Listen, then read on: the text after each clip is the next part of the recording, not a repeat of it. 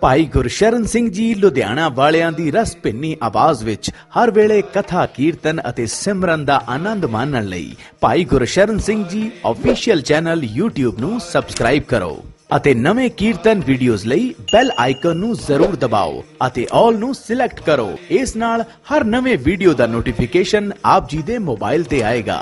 ਫਿਰ ਤੁਸੀਂ ਉਸ ਦਾ ਆਨੰਦ ਮਾਣ ਸਕਦੇ ਹੋ।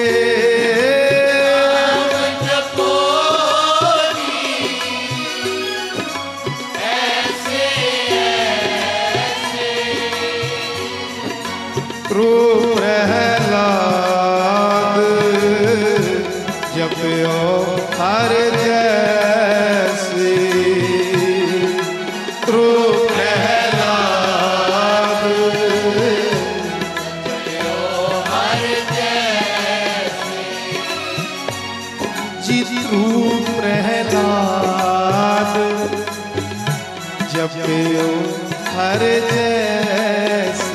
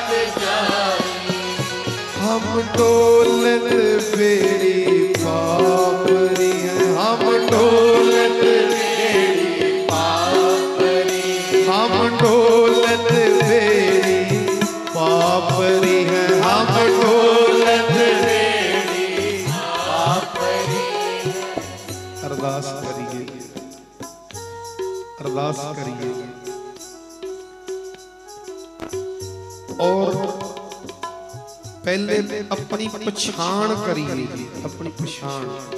ਤਾਂ ਹੀ ਅਰਦਾਸ ਹੋਏਗੀ।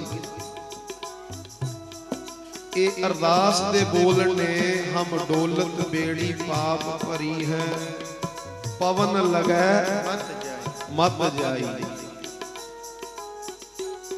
ਇਹ ਵਾਹਿਗੁਰੂ, ਮੇਰੀ ਬੇੜੀ ਪਾਪਾਂ ਦੇ ਨਾਲ ਭਰੀ ਹੈ। ਪਵਨ ਲਗੈ ਮਤ ਜਾਈ। ਤੂਫਾਨ ਦੇ ਵਿੱਚ ਫਸ ਗਈ ਤੇ ਕਿਧਰੇ ਡੁੱਬ ਨਾ ਜਾਵੇ ਮੇਰੀ ਬੇੜੀ ਆ ਪਾਪਾਂ ਦੇ ਨਾਲ ਭਰੀ ਹੋਈ ਬੇੜੀ। ਇਹ ਇੱਕ ਅਰਦਾਸ ਹੈ। ਪਰ ਇਸ ਅਰਦਾਸ ਤੋਂ ਪਹਿਲਾਂ ਪਤਾ ਤਾਂ ਹੋਵੇ ਕਿ ਮੇਰੀ ਬੇੜੀ ਪਾਪਾਂ ਦੇ ਨਾਲ ਭਰੀ ਹੋਈ ਆ ਕੋ ਸਤਨਾਮ ਪਤਾ ਹੀ ਨਹੀਂ।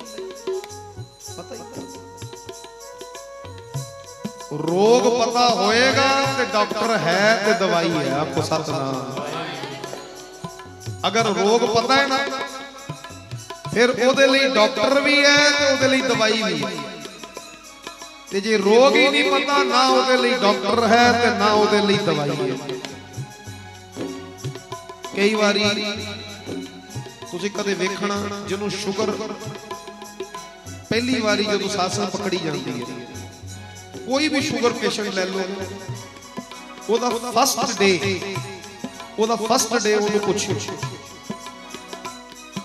ਕੋਈ ਵੀ ਸ਼ੂਗਰ ਪੇਸ਼ੈਂਟ ਨੂੰ ਤੁਸੀਂ ਹੱਥ ਲਾਓਗੇ, ਉਹਦੀ ਸ਼ੂਗਰ ਜਦੋਂ ਪਹਿਲੇ ਦਿਨ ਪਕੜੀ ਹੋਏਗੀ ਨਾ, ਕੋਈ 400 ਕੋਈ 450 ਕੋਈ 500 ਹੋਏਗੀ। ਕਾਰਨ ਪਤਾ ਹੀ ਨਹੀਂ ਪਤਾ ਹੀ ਨਹੀਂ ਹੈ ਨੂੰ ਸ਼ੂਗਰ ਹੈ। ਉਹ ਮਿੱਠਾ ਵੀ ਖਾ ਰਿਹਾ, ਤਲਿਆ ਵੀ ਖਾ ਰਿਹਾ ਕੋਲਡ ਡਰਿੰਕ ਵੀ ਪੀ ਰਿਹਾ, ਹਰ ਉਹ ਚੀਜ਼ ਖਾ ਪੀ ਰਿਹਾ ਜਿਹੜਾ ਸ਼ੂਗਰ ਨੂੰ ਅਫੈਕਟ ਕਰਦਾ।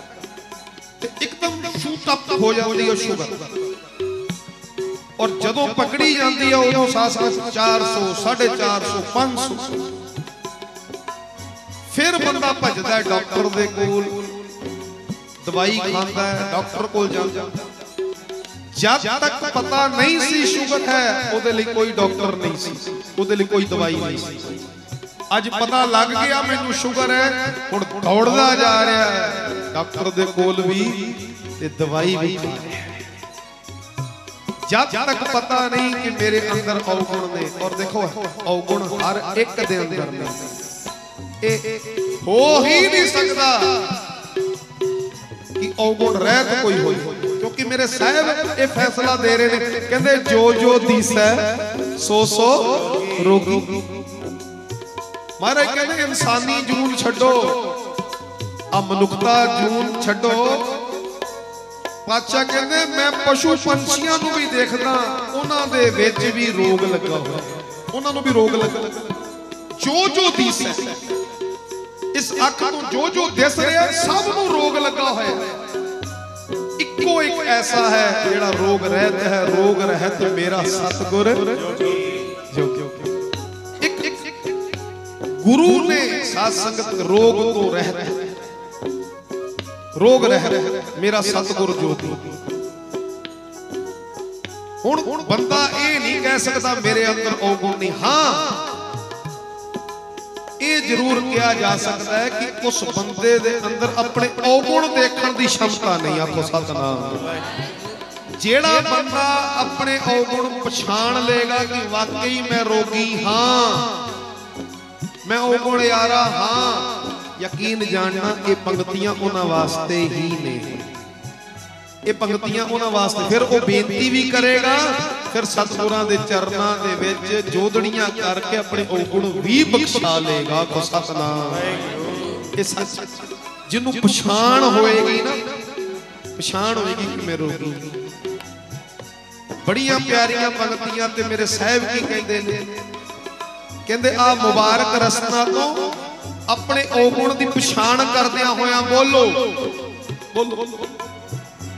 ਹਮ ਡੋਲਤ ਬੇੜੀ ਪਾਪ ਪਰੀ ਹਮ ਡੋਲਤ ਮੇਰੀ ਪਾਪਰੀ ਹਮ ਡੋਲਤ ਬੇੜੀ ਪਾਪ ਪਰੀ ਹਮ ਡੋਲਤ ਮੇਰੀ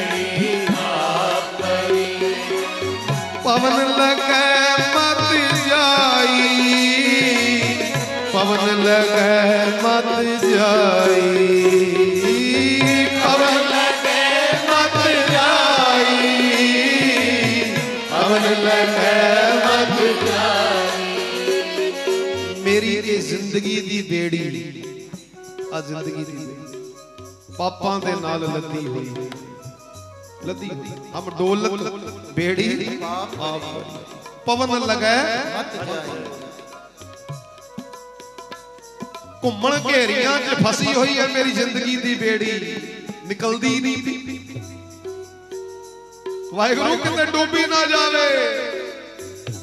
ਮਸਾਂ ਕਿਤੇ 84 ਲੱਖ ਜੂਨਾ ਤੋਂ ਬਾਅਦ ਇਹ ਬਰੀਆ ਮਿਲੀ ਹੈ। ਇਹ ਸੱਚੇ ਪਾਤਸ਼ਾਹ ਕਿਤੇ ਇਹ ਵੀ ਬਰੀਆ ਵਿਅਰਥ ਨਾ ਚਲੀ ਜਾਵੇ। ਇਹ ਬਰੀਆ ਮਿਲੀ ਸੀ ਕਿ ਪਿਛਲੇ ਕਲੰਕ ਧੋ ਦੇ। ਇਹ ਮਾਨੁਖ ਦੇ ਇਸ ਕਰਕੇ ਮਿਲੀ ਸੀ, ਮਾਨੁਖ ਦੇ ਹੀ, ਕਿ ਜਿਹੜੇ ਪਿਛਲੇ ਕਲੰਕ ਲਗੇ ਹੋਏ ਨਾ ਸਾਡੇ ਤੇ, ਜਨਮ ਜਨਮ ਕੀ ਇਸ ਮਨ ਕੋ ਮਨ ਲਾਗੀ? ਇਹ ਮੈਲ ਕੀ ਹੈ? ਕਲੰਕ ਹੈ ਨਾ? ਪਿੱਛੋਂ ਜਿਹੜੀ ਮੈਲ ਤੁਰਦੀ ਆ ਰਹੀ ਹੈ, ਪਾਤਸ਼ਾਹ ਕਹਿੰਦੇ ਆ ਬਰੀਆ ਸੀ, ਉਹਨੂੰ ਧੋਣ ਦੇ ਲਈ। ਪਰ ਹਾਏ, ਮੈਂ ਮੂਰਖ ਨੇ ਕੀ ਕੀਤਾ? ਹੋਰ ਮੈਲ ਚੜਾ ਬੈਠੀ ਹੋਰ ਮੈਲ ਚੜ੍ਹਾ। ਪਿਛਲੀ ਮੈਲ ਤੱਕ ਹੀ ਉਤਾਰਨੀ ਸੀ? ਹੋਰ ਮੈਲ ਚੜਾ ਬੈਠੀ ਮੇਰਾ ਬਣੇਗਾ ਕੀ? ਮੇਰਾ ਬਣੇਗਾ? ਫਿਰ ਅੱਗੇ ਸਾਹਿਬ ਵੇਖੋ ਸਨਮੁਖ ਸੇ ਪੇਟਣ ਕੋ ਆਏ। ਸਨਮੁਖ ਸੇ ਪੇਟਣ ਕੋ ਆਏ। ਸਨਮੁਖ ਸੇ ਪੇਟਣ ਕੋ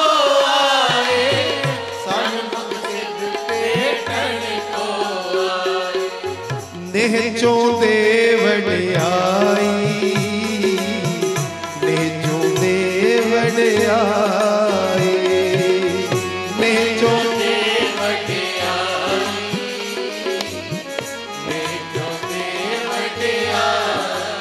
ਸਨਮੁਖ ਇਹ ਸਤਿਗੁਰ ਜੀ ਮੈਂ ਤੁਹਾਡੇ ਸਨਮੁਖ ਸਿੱਧ ਭੇਟਣ ਕੋਈ ਮੈਂ ਆਪ ਜੀਆਂ ਨੂੰ ਮਿਲਣ ਵਾਸਤੇ ਆਇਆ, ਭੇਟਣ ਕੋ ਆਏ ਨਿਹਚੋਂ ਦੇ ਵਡਿਆਈ।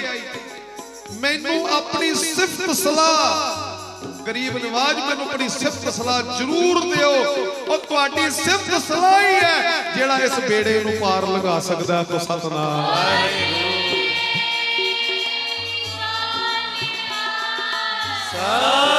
ਸ੍ਰੀ ਅਕਾਲ ਸਨਮੁਖ, ਤੁਹਾਡੇ ਸਨਮੁਖ ਆਇਆ। ਸਿੱਧ ਭੇਟਣ ਕੋ ਆਇਆ।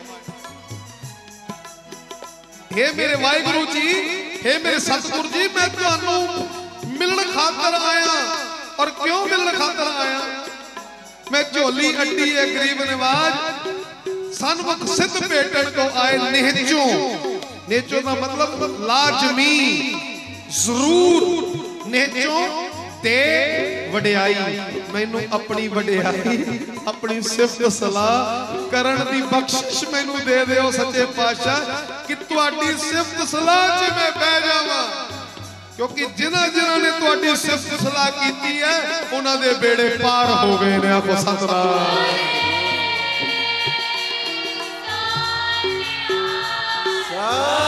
ਸ੍ਰੀ ਅਕਾਲ ਚੋਂਦੇ ਵਡਿਆਈ।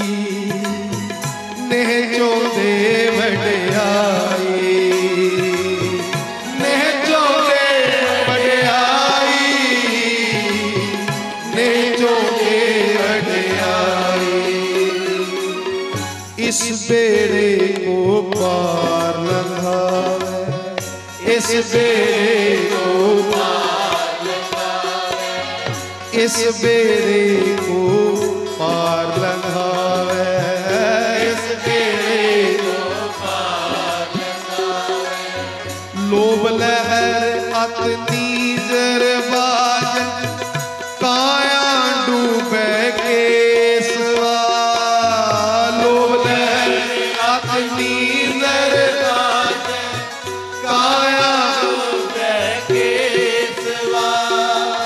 ਸੰਸਾਰ ਸਮੁੰਦੇ ਤਾਰ ਗੋਬਿੰਦੇ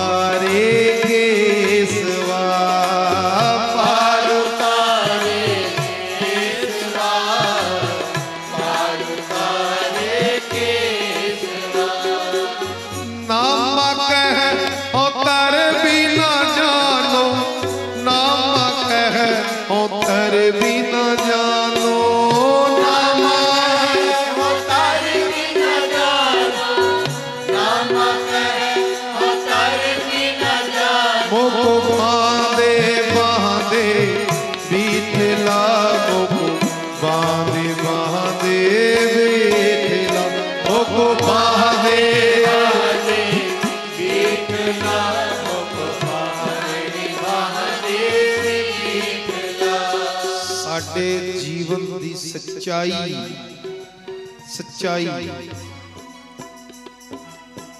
ਇਹ ਮਹਾਰਾਜ ਨੇ ਦੱਸੀ।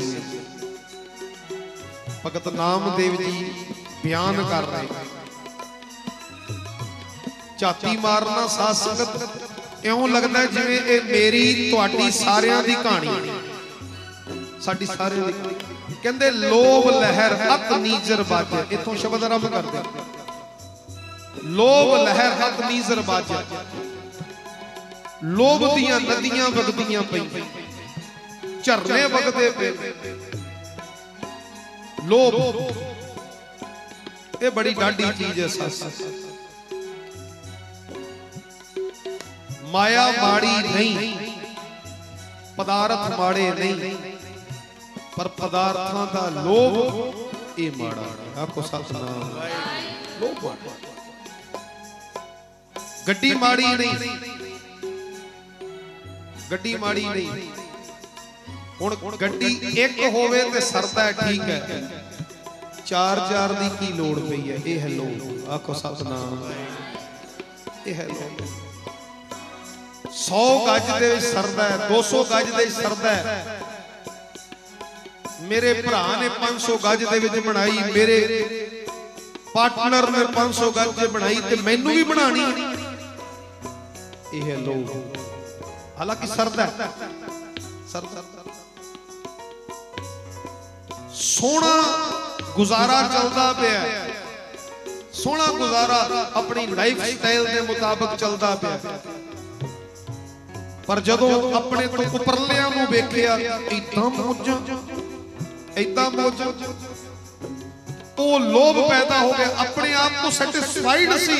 ਪਰ ਜਦੋਂ ਆਪਣੇ ਤੋਂ ਉੱਪਰ ਨੂੰ ਵੇਖਿਆ ਇਦਾਂ ਮੋਜਾਂ ਇਦਾਂ ਮੋਜਾਂ ਲੋਭ, ਆਪਣਾ ਸੁੱਖ ਵੀ ਗਵਾਇਆ, ਆਪਣਾ ਚੈਨ ਵੀ ਗਵਾਇਆ, ਆਖੋ ਸਤਨਾਮ। ਚੰਗਾ ਭਲਾ ਸ਼ਾਂਤ ਬੈਠਾ ਸੀ। ਤਾਂ ਹੀ ਮਹਾਂਪੁਰਖ ਸਮਤ ਦਿੰਦੇ ਜਦੋਂ ਆਪਣੇ ਤੋਂ ਉੱਪਰ ਨੂੰ ਵੇਖਣਾ, ਅਧਿਆਤਮਕ ਪੱਖ ਤੋਂ ਵੇਖਣਾ, ਮਾਇਆ ਪੱਖ ਤੋਂ ਨਾ ਵੇਖਣਾ, ਆਖੋ ਸਤਨਾਮ। ਮਾਇਆ ਪੱਖ ਤੋਂ ਆਪਣੇ ਤੋਂ ਉੱਪਰ ਨੂੰ ਵੇਖੋਗੇ ਤੇ ਅੰਦਰਲੇ ਵਿੱਚ ਅਸ਼ਾਂਤੀ ਰਹੇਗੀ, ਅੰਦਰ ਅਸ਼ਾਂਤੀ ਰਹੇਗੀ। ਅੰਦਰ ਕਲਪਨਾ ਰਹੇਗੀ, ਅੰਦਰ ਦੁੱਖ ਰਹੇਗਾ, ਅੰਦਰ ਤਕਲੀਫ ਰਹੇਗੀ। ਜਦੋਂ ਆਪਣੇ ਤੋਂ ਉੱਪਰ ਨੂੰ ਵੇਖੋਗੇ, ਆਪਣੇ ਤੋਂ ਉੱਪਰ ਨੂੰ ਵੇਖੋਗੇ, ਫਿਰ ਤਕਲੀਫ 'ਚ ਰਹੋਗੇ। ਇਹ ਗੱਲ ਪੱਕੀ ਹੈ। ਉਹਦੇ ਕੋਲ ਇੰਨਾ, ਉਹਦੇ ਕੋਲ ਮੇਰੇ ਕੋਲ ਘੱਟ। ਹਾਲਾਂਕਿ ਆਪਣੇ ਕੋਲ ਜਿੰਨਾ ਹੈ, ਬੜਾ ਸੋਹਣਾ ਚੱਲ ਰਿਹਾ ਪਰ ਦੂਜੇ ਵੱਲ ਵੇਖ ਕੇ ਅੱਗ ਲੱਗੀ ਹੋਈ ਹੈ। ਅੱਗ ਲੱਗੀ ਹੋਈ ਮਹਾਂਪੁਰਖ ਬਚਨ ਕਰਦੇ ਸਨ, ਕਹਿੰਦੇ, ਜੇ ਵੇਖਣਾ ਹੀ, ਅਗਰ ਵੇਖਣਾ ਹੀ, ਮਾਇਆ ਵਾਲੇ ਪਾਸੋਂ ਆਪਣੇ ਤੋਂ ਨੀਚਲੇ ਨੂੰ ਵੇਖੇ। ਜਦੋਂ ਆਪਣੇ ਤੋਂ ਨੀਚੇ ਨੂੰ ਵੇਖੇਗਾ, ਉਦੋਂ ਸ਼ਾਂਤੀ ਆਏਗੀ ਤੇਰੇ ਅੰਦਰ, ਉਦੋਂ ਸ਼ਾਂਤੀ ਆਏਗੀ। ਉਦੋਂ ਸ਼ੁਕਰਾਨਾ ਨਿਕਲੇਗਾ। ਉਦੋਂ ਅੰਦਰ ਸਹਿਜ ਪੈਦਾ ਹੋਏਗਾ, ਵਾਹਿਗੁਰੂ, ਸ਼ੁਕਰ ਹੈ ਤੇਰਾ। ਇੰਨਾ ਕੁਝ ਮੈਨੂੰ ਦਿੱਤਾ ਈ। ਇੰਨਾ ਕੁਝ ਦਿੱਤਾ ਈ। ਬਹੁਤਿਆਂ ਨਾਲੋਂ ਬਹੁਤ ਚੰਗੀਆਂ ਸੀ ਸਾਧ ਬਹੁਤ ਚੰਗੀਆਂ। ਤੇ ਜੇ ਉਪਰਲੇ ਪੱਖ ਤੇ ਦੇਖਣਾ ਤੇ ਅਧਿਆਤਮਕ ਪੱਖ ਤੋਂ ਦੇਖੇ। ਵੇਖੋ, ਜ਼ਰੂਰ ਵੇਖੋ ਆਪਣੇ ਤੋਂ ਉੱਚੇ ਨੂੰ, ਪਰ ਕਿਸ ਪੱਖ ਤੋਂ ਦੇਖੋਗੇ? ਅਧਿਆਤਮਕ ਪੱਖ ਤੋਂ। ਤੁਹਾਡਾ 1 ਘੰਟੇ ਦਾ ਨੇਮ ਹੈ, ਵੇਖੋ 5 ਘੰਟੇ ਵਾਲੇ ਨੂੰ, ਆਖੋ ਸਤਨਾਮ। ਵੇਖੋ 5 ਘੰਟੇ ਵਾਲੇ ਤੁਸੀਂ 5 ਵਜੇ ਜਾਗਦੇ ਹੋ ਅੰਮ੍ਰਿਤ ਵੇਲੇ, ਵੇਖੋ 3 ਵਜੇ ਜਾਗਣ ਵਾਲੇ ਉਦੋਂ ਅਰਦਾਸਾ ਕਰੋ ਕਿ ਗਰੀਬ ਨਿਵਾਜ, ਇਹ ਮੈਂ 5 ਵਜੇ ਜਾਗਦਾ, ਇਹ 3 ਵਜੇ ਜਾਗਦਾ ਹੈ। ਹਾਏ, ਮੇਰੀ ਵਾਰੀ ਕਦੋਂ ਆਏਗੀ ਕਿ ਮੈਂ 3 ਵਜੇ ਜਾਗਾਂਗਾ, ਆਖੋ ਸਤਨਾਮ।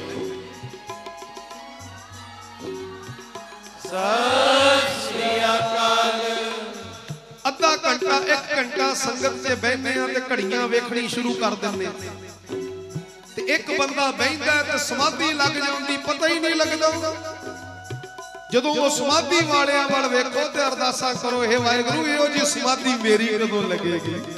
ਕਿ ਜਦੋਂ ਆ ਕੇ ਸੰਗਤ 'ਚ ਘੜੀਆਂ ਭੁੱਲ ਜਾਵਾਂ ਜਦੋਂ ਘੜੀਆਂ ਭੁੱਲ ਜਾਵਾਂ, ਬਾਬਾ ਨਾਨਕ ਸਿੰਘ ਜੀ ਕਹਿੰਦੇ ਸਨ, ਸੰਗਤ 'ਚ ਆਨਾ ਘੜੀਆਂ ਨਾ ਵੇਖਿਆ ਕਰ, ਘੜੀਆਂ ਸਫਲੀਆਂ ਕਰਿਆ। ਘੜੀਆਂ ਸਫਲੀਆਂ ਕਰਿਆ।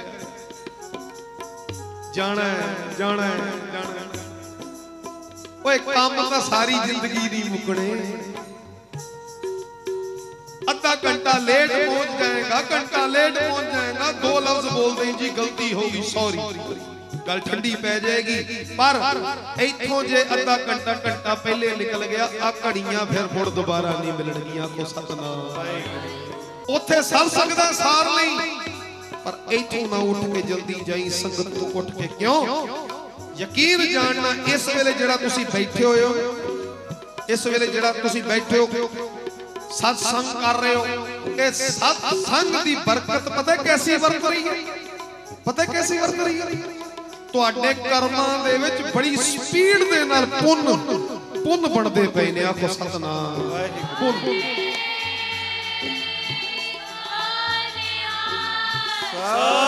ਸ੍ਰੀ ਅਕਾਲ ਜਿੰਨੀ ਦੇਰ ਇੱਥੇ ਬੈਠੇ ਹੋ, ਪੁੰਨਾਂ ਦੀ ਢੇਰੀ ਉੱਚੀ ਹੋ ਰਹੀ ਹੈ।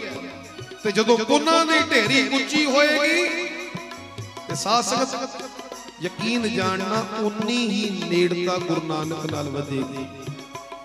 ਉਨੀ ਬਖਸ਼ਿਸ਼ ਗੁਰੂ ਨਾਨਕ ਦੀ ਸਾਡੇ ਤੇ ਵਧੇਗੀ ਆਖੋ ਸਤਨਾਮ ਕਈ ਵਾਰੀ ਆਪਾਂ ਕਹਿੰਦੇ ਨਾ, ਬੜਾ ਪੁੰਨਾ ਵਾਲਾ ਹੈ।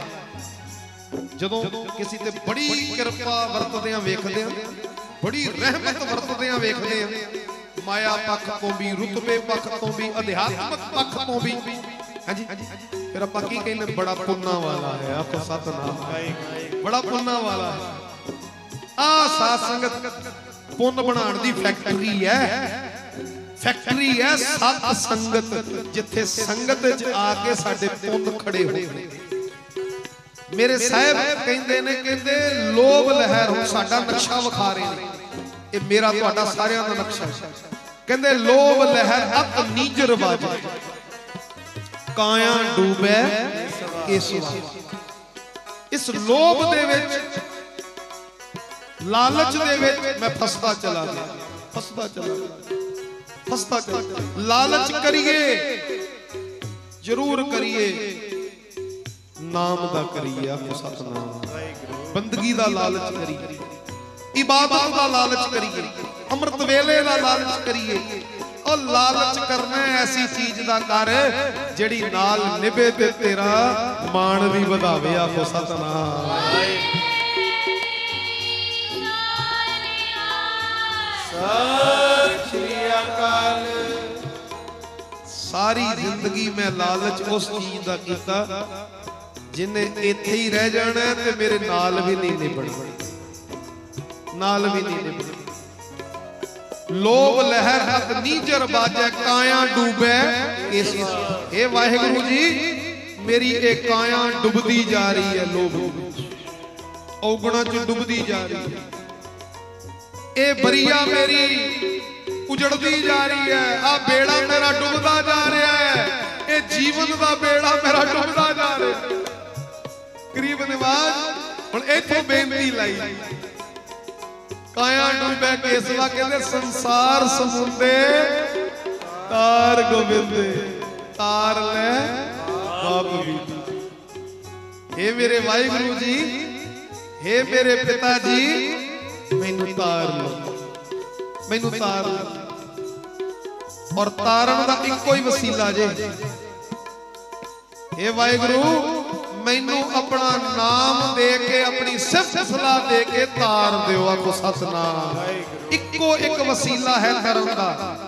ਇੱਕੋ ਇੱਕ ਵਸੀਲਾ ਹੈ ਸਾਥ ਗੁਰੂ ਦੇ ਬੋਲ ਮੰਨ ਕੇ, ਅੰਮ੍ਰਿਤ ਵੇਲਾ ਸੰਭਾਲ ਕੇ ਨਿਤਨੇਮ ਨੂੰ ਕੰਠ ਕਰਕੇ ਨਿਤਨੇਮ ਦੀ ਸੰਭਾਲ ਕਰਕੇ, ਅੰਮ੍ਰਿਤ ਵੇਲੇ ਦੀ ਸੰਭਾਲ ਕਰਕੇ, ਬੰਦਗੀ ਦੀ ਸੰਭਾਲ ਕਰਕੇ ਆ ਸਾਸੰਗਤ ਜਿੱਦਾਂ ਜਿੱਦਾਂ ਬੰਦਗੀ ਦੀ ਸੰਭਾਲ ਕਰਾਂਗੇ ਨਿਤਨੇਮ ਦੀ ਸੰਭਾਲ ਕਰਾਂਗੇ, ਅੰਮ੍ਰਿਤ ਵੇਲੇ ਦੀ ਸੰਭਾਲ ਕਰਾਂਗੇ, ਇਬਾਦਤ ਕਰਾਂਗੇ। ਯਕੀਨ ਜਾਣਨਾ, ਬਾਹ ਤੋਂ ਪਕੜ ਕੇ ਨਾ, ਉਹ ਮੇਰੇ ਬੀਠਲ, ਉਹ ਮੇਰੇ ਵਾਹਿਗੁਰੂ ਜੀ ਬਾਹ ਤੋਂ ਪਕੜ ਕੇ ਇਹ ਜੀਵਨ ਪਾਰ ਲਗਾ ਦੇਣਗੇ ਆਖੋ ਸਤਨਾਮ।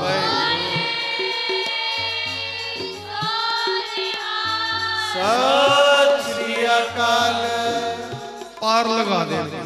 ਸੰਸਾਰ ਸਮੁੰਦੇ ਤਾਰ ਗੋਬਿੰਦੇ ਤਾਰ ਲੈ ਬਾਪ ਬੇਟੀ ਫਿਰ ਕਹਿੰਦੇ ਅਨਲ ਬੇੜਾ ਹਉ ਖੇਬ ਨਾ ਸਾਕੂ ਤੇਰਾ ਪਾਰ ਨਾ ਪਾਇਆ ਬੀਠਲਾ ਹੋ ਦਿਆਲ ਸਤਗੁਰ ਮੇਲ ਤੂੰ ਮੋਕੋ। ਇਹ ਮੇਰੇ ਵਾਹਿਗੁਰੂ ਮੈਨੂੰ ਮੇਲ। ਹੋ ਦਿਆਲ ਮੇਰੇ ਤੇ ਦਿਆਲ ਹੋ ਕੇ ਸੱਚੇ ਪਾਤਸ਼ਾਹ ਜੀ। ਮੈਨੂੰ ਮੇਲ ਲਓ ਆਪਣੇ ਚਰਨਾਂ ਦੇ ਨਾਲ। ਆਪਣੀ ਬੰਦਗੀ ਦੇ ਨਾਲ ਆਪਣੇ ਸਤ ਸੰਗ ਦੇ ਨਾਲ ਆਪਣੇ ਸਤ ਪੁਰਸ਼ਾਂ ਦੇ ਨਾਲ। ਮੈਨੂੰ ਮੇਲ ਹੋ ਦਿਆਲ ਸਤਗੁਰ ਮੇਲ ਤੂੰ ਮੋਕੋ, ਪਾਰ ਉਤਾਰੇ ਇਸ ਇਹ ਸੁੰਦਰ ਕੇਸਾਂ ਵਾਲੇ ਵਾਹਿਗੁਰੂ ਜੀ ਮੈਨੂੰ ਪਾਰ ਲਗਾ ਦੇ। ਆ ਬੇੜਾ ਜਿਹੜਾ ਮੇਰਾ ਡੁੱਬਦਾ ਜਾ ਰਿਹਾ, ਇਹਨੂੰ ਪਾਰ ਲਗਾ ਦਿਓ। ਤੇ ਪਾਰ ਲੰਘੇਗਾ ਕਿਵੇਂ? ਆ ਪਿਛਲੀ ਪੰਕਤੀ 'ਚ ਦੱਸਿਆ ਕਹਿੰਦੇ, ਹੋ ਦਿਆਲ ਸਤਗੁਰ ਮੇਲ ਤੂੰ ਮੋਕੋ। ਮੈਨੂੰ ਮੇਲ। ਤੇ ਸਤਗੁਰ ਦਾ ਮੇਲ ਕੀ ਹੈ ਸਤਗੁਰ ਦਾ ਮੇਲ ਹੈ ਕਿ ਨਿਤਨੇਮ ਪੱਕੇ ਹੋ ਜਾਣੇ। ਸਤਗੁਰ ਦਾ ਮੇਲ ਹੈ ਕਿ ਅੰਦਰ ਸੱਚ ਆ ਜਾਣਾ। ਸਤਗੁਰ ਦਾ ਮੇਲ ਹੈ ਬੰਦਗੀ ਨਾਲ ਨਿਉ ਪੈਦਾ ਹੋ ਜਾਣਾ। ਸਤਗੁਰ ਦਾ ਮੇਲ ਹੈ ਸੇਵਾ ਵਿੱਚ ਮਨ ਖੁੱਭ ਜਾਣਾ। ਆਖੋ ਸਤਨਾਮ। ਸਤਗੁਰ ਦਾ ਮੇਲ ਹੈ ਜੀਵਨ ਨਿਖਾਰਿਆ ਜਾਣਾ। ਇਹ ਹੈ ਸਤਗੁਰਾਂ ਦਾ ਮੇਲ। ਹੋ ਦਿਆਲ ਸਤਗੁਰ ਮੇਲ, ਤੂੰ ਮੋਕੋ ਪਾਰ ਉਤਾਰੇ ਇਸ ਨਾਮਾ ਕਹੈ ਹਾਂ ਕਰ ਵੀ ਨਾ ਜਾਣੋ ਇੱਥੇ ਸਰੈਂਡਰ ਕਰ ਬਾਹ ਖੜੀ ਕਰ ਸੱਚੇ ਪਾਤਸ਼ਾਹ ਮੇਰਾ ਜਹਾਜ਼ ਆ ਔਗਣਾ ਦੇ ਤੂਫਾਨ ਦੇ ਵਿੱਚ ਡੁੱਬਦਾ ਜਾ ਰਿਹਾ ਹੈ ਆ ਜ਼ਿੰਦਗੀ ਦਾ ਬੇੜਾ ਮੇਰਾ ਔਗਣਾ ਦੇ ਸਮੁੰਦਰ ਦੇ ਵਿੱਚ ਤੂਫਾਨ ਵਿੱਚ ਡੁੱਬਦਾ ਜਾ ਰਿਹਾ ਹੈ ਆ ਪਿਛਲੇ ਦਿਨੀ ਦਾਸ ਨੇ ਗੱਲ ਕੀਤੀ ਸੀ ਇੱਕ ਹੈ ਜਨਮ, ਇੱਕ ਹੈ ਮੌਤ। ਇੱਕ ਹੈ ਜਨਮ, ਇੱਕ ਹੈ ਮੌਤ। ਜਨਮ ਤੋਂ ਮੌਤ ਦੇ ਵਿਚਕਾਰ ਦੇ ਸਫ਼ਰ ਨੂੰ ਕਹਿੰਦੇ ਨੇ ਜੀਵਨ। ਆਖੋ ਸਤਨਾਮ। ਜੀਵਨ। ਜੇ ਜੀਵਨ ਨਿਖਾਰਿਆ ਗਿਆ, ਉਹ ਤੇਰਾ ਜਨਮ ਵੀ ਸਫਲਾ ਤੇ ਤੇਰੀ ਮੌਤ ਵੀ ਸਫਲੀ। ਆਖੋ ਸਤਨਾਮ। ਤੇ ਸਤਿ ਸ੍ਰੀ ਅਕਾਲ ਤੇ ਜੇ ਜੀਵਨ ਨਾ ਸੰਭਾਲਿਆ ਗਿਆ, ਜੇ ਜੀਵਨ ਦੀ ਬੇੜੀ ਡੁੱਬ ਗਈ, ਉਹ ਤੇਰਾ ਜਨਮ ਵੀ ਦਾਗੋ ਦਾਗ ਹੋ ਜਾਏਗਾ, ਤੇਰਾ ਜਨਮ ਵੀ ਬਿਰਥਾ ਗਿਆ ਤੇ ਤੇਰੀ ਮੌਤ ਵੀ ਬਿਰਥੀ ਗਈ। ਆਖੋ ਸਤਨਾਮ। ਮੈਨੂੰ ਇੱਕ ਬਚਨ ਚੇਤੇ ਆਇਆ, ਮਹਾਪੁਰਖਾਂ ਦਾ ਭਾਈ ਸਾਹਿਬ, ਭਾਈ ਜਸਵੀਰ ਸਿੰਘ ਜੀ ਖੰਨੇ ਵਾਲੇ। ਉਹ ਬਚਨ ਕਰਿਆ ਕਰਦੇ ਸਨ। ਕਹਿੰਦੇ, ਬੰਦਿਆ ਜੀਂਦੇ ਜੀ ਆਪਣਾ ਮਰਨਾ ਸਵਾਰ ਚੱਲ। ਆਖੋ ਸਤਨਾਮ ਬੜੀ ਡੁੰਗਾਈ ਹੈ ਇਸ ਬੋਲ 'ਚ। ਜੀਂਦੇ ਜੀ ਆਪਣਾ ਮਰਨਾ ਸਵਾਰ ਚੱਲ। ਆ ਜੀਵਨ ਜਿਹੜਾ ਇੱਕ ਜਨਮ ਇੱਕ ਮੌਤ। ਇਹ ਸਫ਼ਰ ਜਿਹੜਾ ਹੈ ਇਹਨੂੰ ਕਹਿੰਦੇ ਜੀਵਨ। ਜਿਹੜਾ ਇਸ ਜੀਵਨ ਦੇ ਵਿੱਚ ਆਪਣੇ ਗੁਰੂ ਨੂੰ ਮਿਲ ਬੈਠਾ ਗੁਰੂ ਦੀ ਖੁਸ਼ੀ ਲੈ ਬੈਠਾ ਗੁਰੂ ਦੀ ਨਜ਼ਰ ਲੈ ਕੇ ਤੁਰੇਗਾ। ਓਏ, ਉਹਦਾ ਜਨਮ ਸਫਲਾ, ਉਹਦਾ ਮਰਨਾ ਸਫਲਾ ਕੋ ਸਤਨਾਮ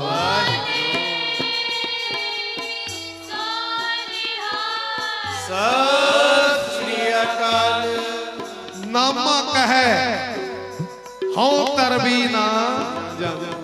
ਐਉਂ ਬਾਵਾਂ ਖੜੀਆਂ ਕਰਦੀ ਆ ਬਮ ਚਲੀ ਠਾਕੁਰ ਪਿਆ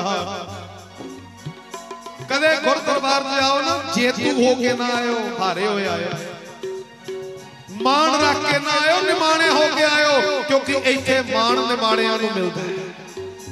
ਇੱਥੇ ਆਸਰਾ ਨਿਆਸਰਿਆਂ ਨੂੰ ਮਿਲਦਾ ਹੈ। ਇੱਥੇ ਥਾਂ ਨਿਥਾਵਿਆਂ ਨੂੰ ਮਿਲਦੀ ਹੈ। ਜਿਹੜਾ ਬਾਹਾਂ ਖੜੀਆਂ ਕਰਕੇ ਕਹਿੰਦੇ, ਮੇਰਾ ਕੋਈ ਆਸਰਾ ਨਹੀਂ। ਗਰੀਬ ਨਿਵਾਜ, ਤੁਸੀਂ ਆਸਰਾ ਬਣੋ। ਮੇਰੀ ਕੋਈ ਥਾਂ ਨਹੀਂ। ਮੈਨੂੰ ਤੁਸੀਂ ਚਰਨਾਂ 'ਚ ਥਾਂ ਦਿਓ। ਗਰੀਬ ਨਿਵਾਜ, ਮੈਂ ਨਿਮਾਣਾ ਵਾਂ। ਮੇਰਾ ਕੋਈ ਮਾਣ ਨਹੀਂ। ਆਪਣੇ ਚਰਨਾਂ ਵਿੱਚੋਂ ਮੈਨੂੰ ਮਾਣ ਦਿਓ ਖਾਲੀ ਜੇਬ ਆਏਗਾ, ਭਰ ਕੇ ਜਾਏਗਾ। ਖਾਲੀ ਝੋਲੀ ਕਰਕੇ ਆਏਗਾ, ਭਰ ਕੇ ਜਾਏਗਾ। ਜੇ ਬਾਹਰੋਂ ਹੀ ਭਰਿਆ ਹੋਇਆ ਆ ਰਿਹਾ ਮਾਣ ਰੱਖ ਕੇ, ਤਾਣ ਰੱਖ ਕੇ, ਬੜੇ ਬੜੇ ਆਸਰੇ ਸਿਰ ਤੇ ਚੱਕ ਕੇ ਆ ਰਿਹਾ ਫਿਰ ਜਿੱਦਾਂ ਦੇ ਆਏ, ਉਦਾਂ ਦੇ ਗਏ। ਆ ਸਤਨਾਮ। ਹੁੰਦਾ ਹੀ ਫਿਰ ਵੀ ਹੋ ਰਿਹਾ। ਇਦਾਂ ਹੀ ਸਾਰੀ ਜ਼ਿੰਦਗੀ ਲੰਘ ਗਈ। ਕਿੰਨਾ ਕੋਈ ਯਾਰਾਨਾ ਪਿਆ ਆਪਣੇ ਗੁਰੂ ਦੇ ਨਾਲ?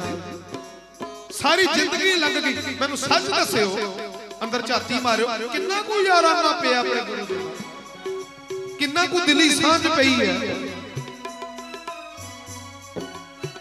ਨਿਮਾਣੇ ਬਣ ਕੇ ਆਵਾਂਗੇ ਤੇ ਗੁਰੂ ਮਾਣ ਦੇਣਗੇ ਕਿਉਂਕਿ ਇਹ ਘਰ ਨਿਮਾਣਿਆਂ ਨੂੰ ਮਾਣ ਦੇਣ ਵਾਲਾ ਨਿਤਾਣਿਆਂ ਨੂੰ ਤਾਣ ਦੇਣ ਵਾਲਾ ਇਹ ਘਰ ਨਿਆਸਰਿਆਂ ਨੂੰ ਆਸਰਾ ਦੇਣ ਵਾਲਾ ਹੈ।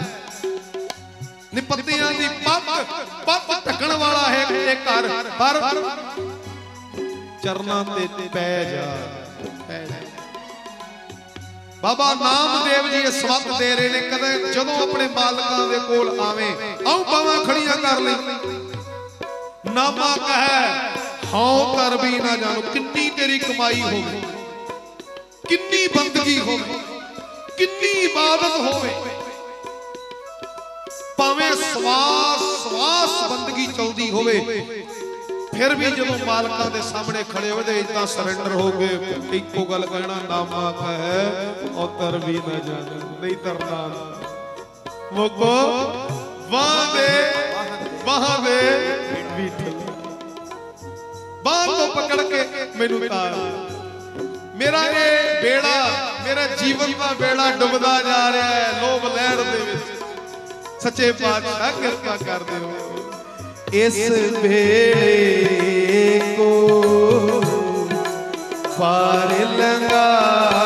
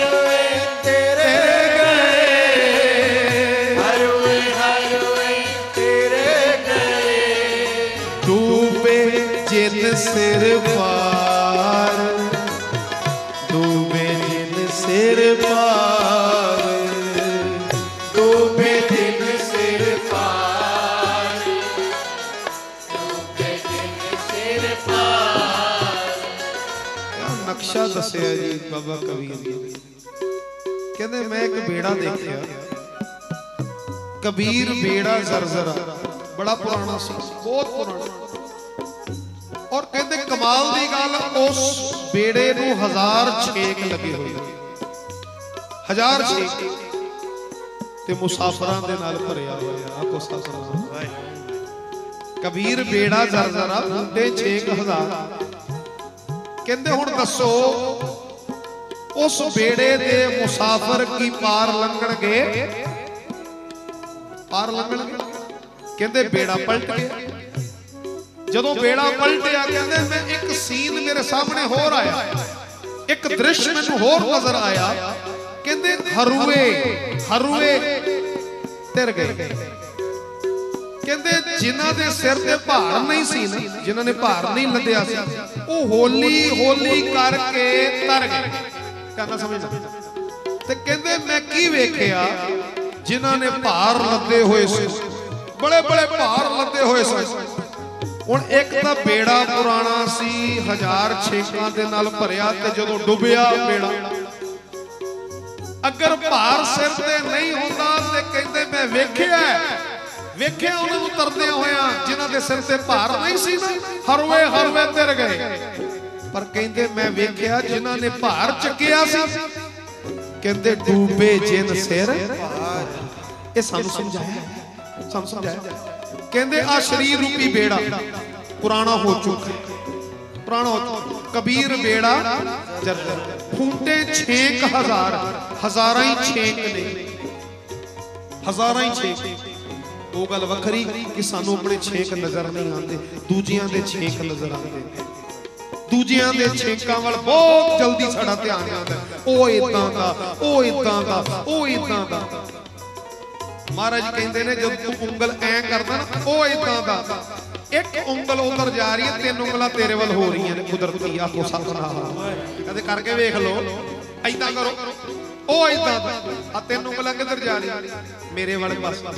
ਮਹਾਰਾਜ ਕਹਿੰਦੇ, ਇੱਕ ਗੁਣਾ ਉਧਰ ਵੇਖਦਾ ਤਿੰਨ ਗੁਣਾ ਆਪਣੇ ਅੰਦਰ ਝਾਤੀ ਮਾਰ। ਆਪਣੇ ਅੰਦਰ ਝਾਤੀ ਮਾਰ, ਤਿੰਨ ਗੁਣਾ ਝਾਤੀ ਮਾਰੀ। ਤਿੰਨ ਗੁਣਾ ਝਾਤੀ ਮਾਰੀ। ਆਪਣੇ ਛੇਕਾਂ ਵੱਲ ਧਿਆਨ ਕਰ। ਆਪਣੇ ਛੇਕਾਂ ਵੱਲ ਧਿਆਨ ਕਰ। ਅਸੀਂ ਦੂਜਿਆਂ ਦੇ ਛੇਕ ਗਿਣਦੇ ਫਿਰ ਉਹ ਇਦਾਂ ਦਾ। ਉਹ ਇਦਾਂ ਦਾ। ਜਿਸ ਦਿਨ ਆਪਣੇ ਅੰਦਰ ਝਾਕ ਮਾਰਨੀ ਆ ਗਈ ਲੋ ਰੱਬ ਦਾ ਨਾਮ ਸਾਸਕ ਦੁਹਾਈ ਰੱਬ ਦੀ।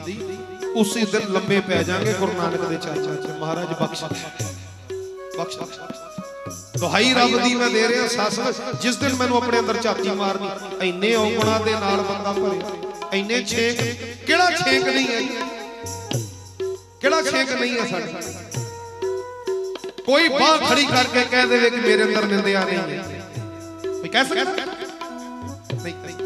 ਕੋਈ ਬਾਹ ਖੜੀ ਕਰਕੇ ਕਹਿ ਦੇ ਮੇਰੇ ਅੰਦਰ ਕਾਮ ਦਾ ਰੋਗ ਨਹੀਂ ਹੈ। ਮੇਰੇ ਅੰਦਰ ਹਉਮੈ ਨਹੀਂ ਹੈ। ਤੇਰੇ ਅੰਦਰ ਈਰਖਾ ਨਹੀਂ ਹੈ। ਕੋਈ ਕਹਿ ਸਕਦਾ? ਮਤਲਬ ਹੀ ਨਹੀਂ ਸਾਧ ਸੰਗਤ ਇੰਨੇ ਛੇਕਾਂ ਦੇ ਨਾਲ ਭਰੇ। ਬਾਬਾ ਕਬੀਰ ਜੀ ਨੇ ਸਾਡਾ ਨਕਸ਼ਾ ਸਾਨੂੰ ਦਿਖਾਇਆ। ਕਹਿੰਦੇ ਕਬੀਰ ਬੇੜਾ ਜ਼ਰਜ਼ਰਾ ਫੂਟੇ ਛੇਕ ਹਜ਼ਾਰ ਹਜ਼ਾਰ ਸਾਡੇ ਕਹਿੰਦੇ ਜਿਹੜਾ ਸੀਨ ਤੈਨੂੰ ਮੈਂ ਦਿਖਾਇਆ ਸੀ ਨਾ, ਹੁਣ ਉਹ ਸੀਨ ਤੇਰੇ ਨਾਲ ਹੋਣਾ ਬਾਬਾ ਕਬੀਰ ਜੀ ਕਹਿੰਦੇ, ਜਿਹੜਾ ਸੀਨ ਕਹਿੰਦੇ ਮੈਂ ਤੈਨੂੰ ਦਿਖਾਇਆ ਸੀ ਨਾ, ਉਹ ਤੇਰੇ ਨਾਲ ਹੋਣਾ ਕਹਿੰਦੇ ਹਰ ਵੇ ਹਰ ਵੇ ਤੇਰ ਗਏ। ਚੱਲ। ਬੇੜਾ ਪੁਰਾਣਾ ਹੁੰਦਾ ਗਿਆ, ਕੋਈ ਗੱਲ ਨਹੀਂ। ਛੇਕ ਵੀ ਤੇਰੇ ਅੰਦਰ ਹਜ਼ਾਰ ਨੇ, ਚੱਲ ਇੱਕ ਵਾਰੀ ਸਾਂਭਿਆ ਜਾ ਸਕਦਾ। ਜੇ ਸਾਂਭਿਆ ਤਾਂ ਜਾ ਸਕਦਾ ਜੇ ਭਾਰ ਤੂੰ ਨਾ ਚੱਕਿਆ ਹੋਵੇ, ਆਖੋ ਸਤਨਾਮ। ਭਾਰ ਨਾ ਚੱਕਿਆ ਫਿਰ ਤੂੰ ਹੋਲੀ ਹੋਲੀ ਕਰਕੇ ਤਰ ਜਾਏਗਾ। ਹਰਵੇ ਹਰਵੇ ਤਿਰ ਗਏ, ਡੂਬੇ ਜਿਨ ਸਿਰ ਭਾਰ। ਪਰ ਸਾਰੀ ਜ਼ਿੰਦਗੀ ਸਾਧ ਸੰਗਤ ਜੀ ਅਸੀਂ ਦੂਜਿਆਂ ਦਾ ਭਾਰ ਚੱਕ ਚੱਕ ਕੇ ਫਿਰਦੇ ਰਹੇ ਇਹ ਨਿੰਦਿਆ ਕਰਨੀ ਕੀ ਹੈ? ਦੂਜਿਆਂ ਦਾ ਗੰਦ ਚੱਕਣਾ ਹੀ ਦੂਜੇ ਕਿੰਨਾ ਰੱਜ ਰੱਜ ਕੇ ਆਪਾਂ ਗੰਦ ਚੱਕਦੇ। ਕਿੰਨਾ ਰੱਜ ਰੱਜ ਕੇ ਆਪਣਾ ਬੇੜਾ ਗਰਕ ਕਰਦੇ। ਬਾਬਾ ਕਬੀਰ ਜੀ ਨੇ ਤਾਂ ਇੱਥੇ ਤੱਕ ਕਿਹਾ ਕਹਿੰਦੇ ਨਿੰਦੋ ਨਿੰਦੋ ਮੋਕੋ ਲੋਗ ਨਿੰਦੋ ਨਿੰਦਾ ਜਨ ਕੋ ਖਰੀ ਪਿਆਰੀ ਨਿੰਦਾ ਬਾਪ ਨਿੰਦਾ ਮੈਂ ਮਾਂ ਬਾਪ ਜਿਵੇਂ ਬੱਚੇ ਦੀ ਵਿਸ਼ਟਾ ਸਾਫ਼ ਕਰਦੇ ਨੇ, ਲੈਟਰਿਨ ਸਾਫ਼ ਕਰਦੇ ਹੋਰ ਆ ਗੰਦ ਸਾਫ਼ ਕਰਦੇ ਨੇ ਹੱਥ ਦੇ ਨਾਲ ਨਾ ਤੇ ਬਾਬਾ ਕਬੀਰ ਜੀ ਕਹਿੰਦੇ ਨੇ ਕਹਿੰਦੇ ਜਿਹੜਾ ਮੇਰਾ ਨਿੰਦਕ ਹੈ ਨਾ ਨਿੰਦਕ ਕਹਿੰਦੇ ਉਹ ਮੇਰੇ ਮਾਂ-ਬਾਪ ਕੀ ਨਿਆਈ ਹੈ? ਮੇਰਾ ਨਿੰਦਕ ਮੇਰੇ ਮਾਂ-ਬਾਪ ਕੀ ਨਿਆਈ ਹੈ? ਜਿਵੇਂ ਮਾਂ-ਬਾਪ ਬੱਚੇ ਛੋਟੇ ਬੱਚੇ ਦੀ ਪਿਸ਼ਟਾ ਹੱਥ ਨਾਲ ਸਾਫ਼ ਕਰਦੇ ਕਹਿੰਦੇ ਮੇਰਾ ਨਿੰਦਕ ਮੇਰੀ ਪਿਸ਼ਟਾ ਮੇਰਾ ਗੰਦ ਆਪਣੀ ਰਸਨਾ ਨਾਲ ਸਾਫ਼ ਕਰਦਾ ਹੈ। ਆਖੋ ਸਤਨਾਮ। ਵਾਹਿਗੁਰੂ। ਰਸਨਾ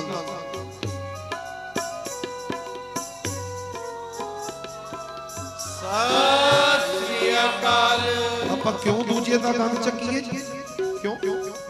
ਫਿਰ ਇੱਕ ਥਾਂ ਤੇ ਸਤਿਗੁਰੂ ਜੀ ਹੋਰ ਗੱਲ ਕਰਦੇ ਕਹਿੰਦੇ ਕੈਸਾ ਮੂਰਖ ਇਨਸਾਨ ਹੈ?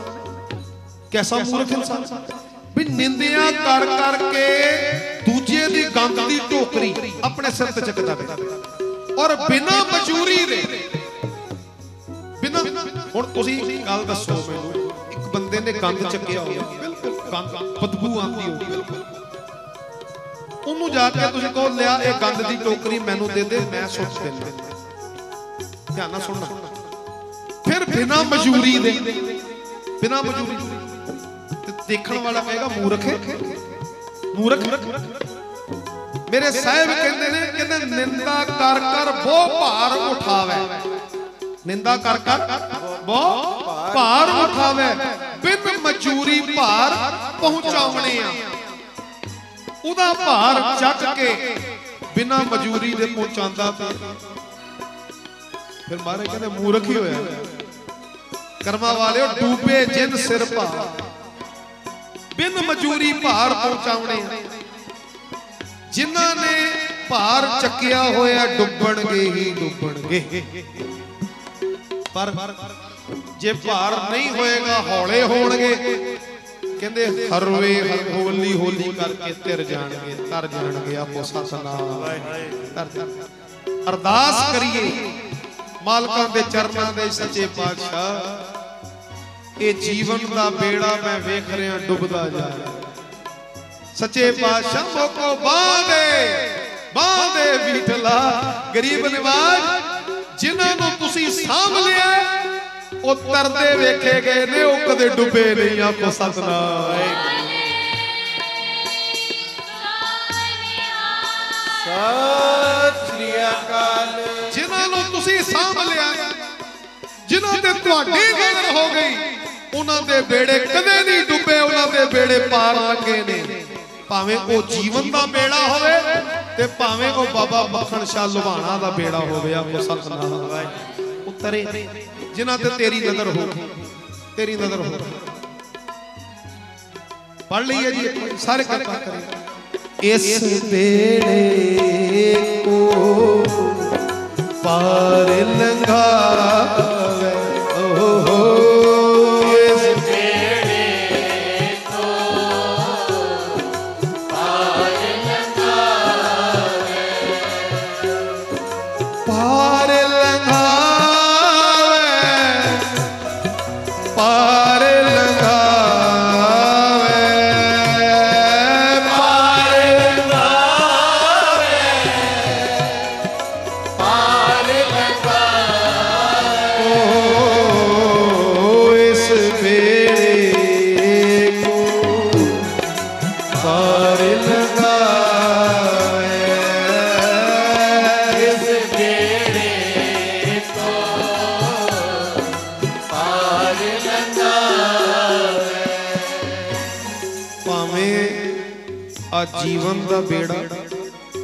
ਭਾਵੇਂ ਕਿਸੇ ਕੰਮ ਦਾ ਬੇੜਾ ਅਰਦਾਸ ਆਪਣੇ ਗੁਰੂ ਅੱਗੇ ਕਰਨਾ ਅੰਦਰੋਂ ਬਹਿ ਜਾਓਗੇ ਤੇ ਪਾਰ ਲੰਘਾਏਗਾ ਹੀ ਲੰਘਾਏਗਾ ਸਤਿ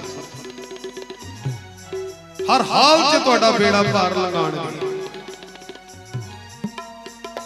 ਤਕਰੀਬਨ ਇਹ ਸਾਖੀ ਸਭ ਨੂੰ ਪਤਾ ਹੈ ਬਸ ਖਾਲੀ ਇਸ਼ਾਰਾ ਮਾਤਰ ਦੇ ਕੇ ਕਿਉਂਕਿ ਸਾਖੀ ਵਿੱਚੋਂ ਆਪਾਂ ਸਾਧ ਸੰਗਤ ਸਿੱਖਿਆਵਾਂ ਕੱਢਣੀਆਂ ਦਾਸ ਸਾਖੀ ਇਸ ਕਰਕੇ ਲੈਂਦਾ ਵਿੱਚੋਂ ਆਪਣੇ ਲਈ ਸਿੱਖਿਆ ਕੱਢਦੇ ਚ ਜਿਵੇਂ ਜਿਹਦੇ ਨਾਲ ਸਾਖੀ ਵਰਤੀ ਹੈ, ਉਹਦਾ ਬੇੜਾ ਪਾਰ ਹੋਇਆ। ਕਿਉਂ ਹੋਇਆ?